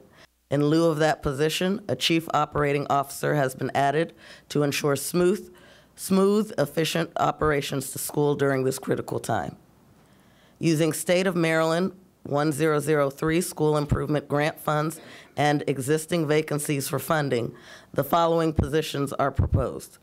One, Executive Director of School Support and Improvement to lead a team that provides direct, differentiated focus support on grades K through 12 to 15 CSI comprehensive support and improvement and TSI targeted support and improvement schools and collaborate across central offices to ensure aligned services to schools focused on improving teaching, learning, and best practices. One, executive director for high schools to provide additional time and support for principal supervisors to coach, guide, and help high school principals improve instruction to meet the needs of our students. The following departments have also been proposed to move to align resources closer to schools. Equity and cultural proficiency to the chief of staff, data, research, and accountability to the chief operating officer, organizational development, and social emotional support and health services to the chief of schools. May I have a motion to approve the 2023-2024 organizational chart per Board Policy 2310? So moved, Pumphrey. Thank you. Is there a second? Second, Booker Dwyer. Thank you. Any discussion? Mr. McMillion? I'm just curious why there's, there's a bunch of executive directors fall under these slots. And then there's others like athletics. Is the athletic top spot still the coordinator of athletics? Director of athletics. The lec- director of athletics. Yes. So how about transportation? The director of transportation? Director. And the same for f- food nutrition, the Correct. director? Food and Yes. Thank you. You're welcome. Any other questions or discussion? May I have a roll call vote, please? Ms. Domanowski?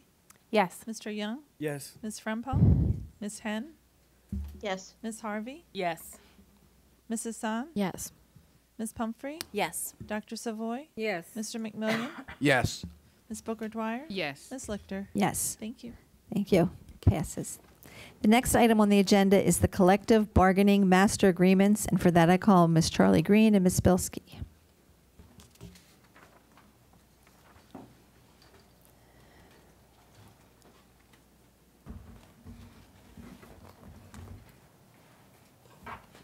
Good evening. Good evening. Uh, Good evening, Board Chair uh, Lichter, Vice Chair Harvey, Dr. Williams, members of the board. I'm here this evening uh, with Ms. Bilski to share uh, for your consideration the collective bargaining agreements for our five employee associations. At this time, I turn it over to Ms. Bilski. Good evening. Excuse me. Thank you for this opportunity. All five um, bargaining units, negotiations with all five bargaining units have concluded. We've submitted tentative agreements on articles for each of the five for your um, review and approval.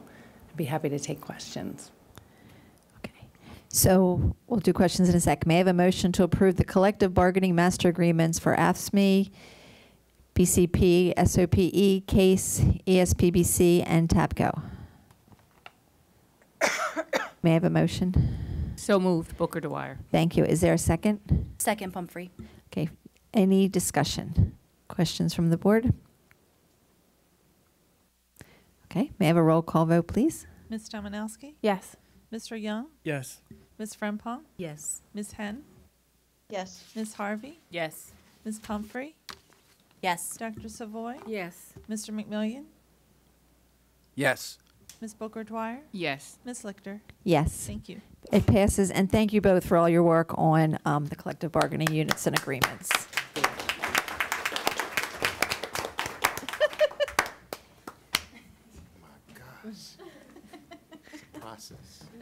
It's a process. Okay. The next item on the agenda is informational items, including the 2023 Stakeholder Survey System Report, 2023-2024 Special Education Staffing Plan, ESSA Accountability, Financial Report for April 2023, Revised Superintendent Rules 4203, 4402, 7260, and 7520.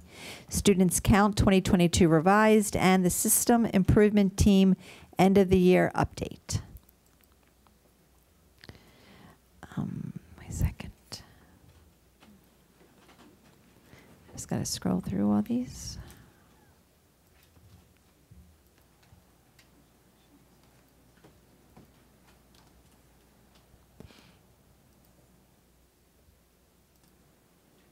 The next item on the agenda is board committee updates and board member comments and agenda setting.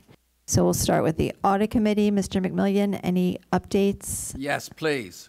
At our May 23rd meeting, the Office of Internal Audit presented the student enrollment process and data accuracy audit results.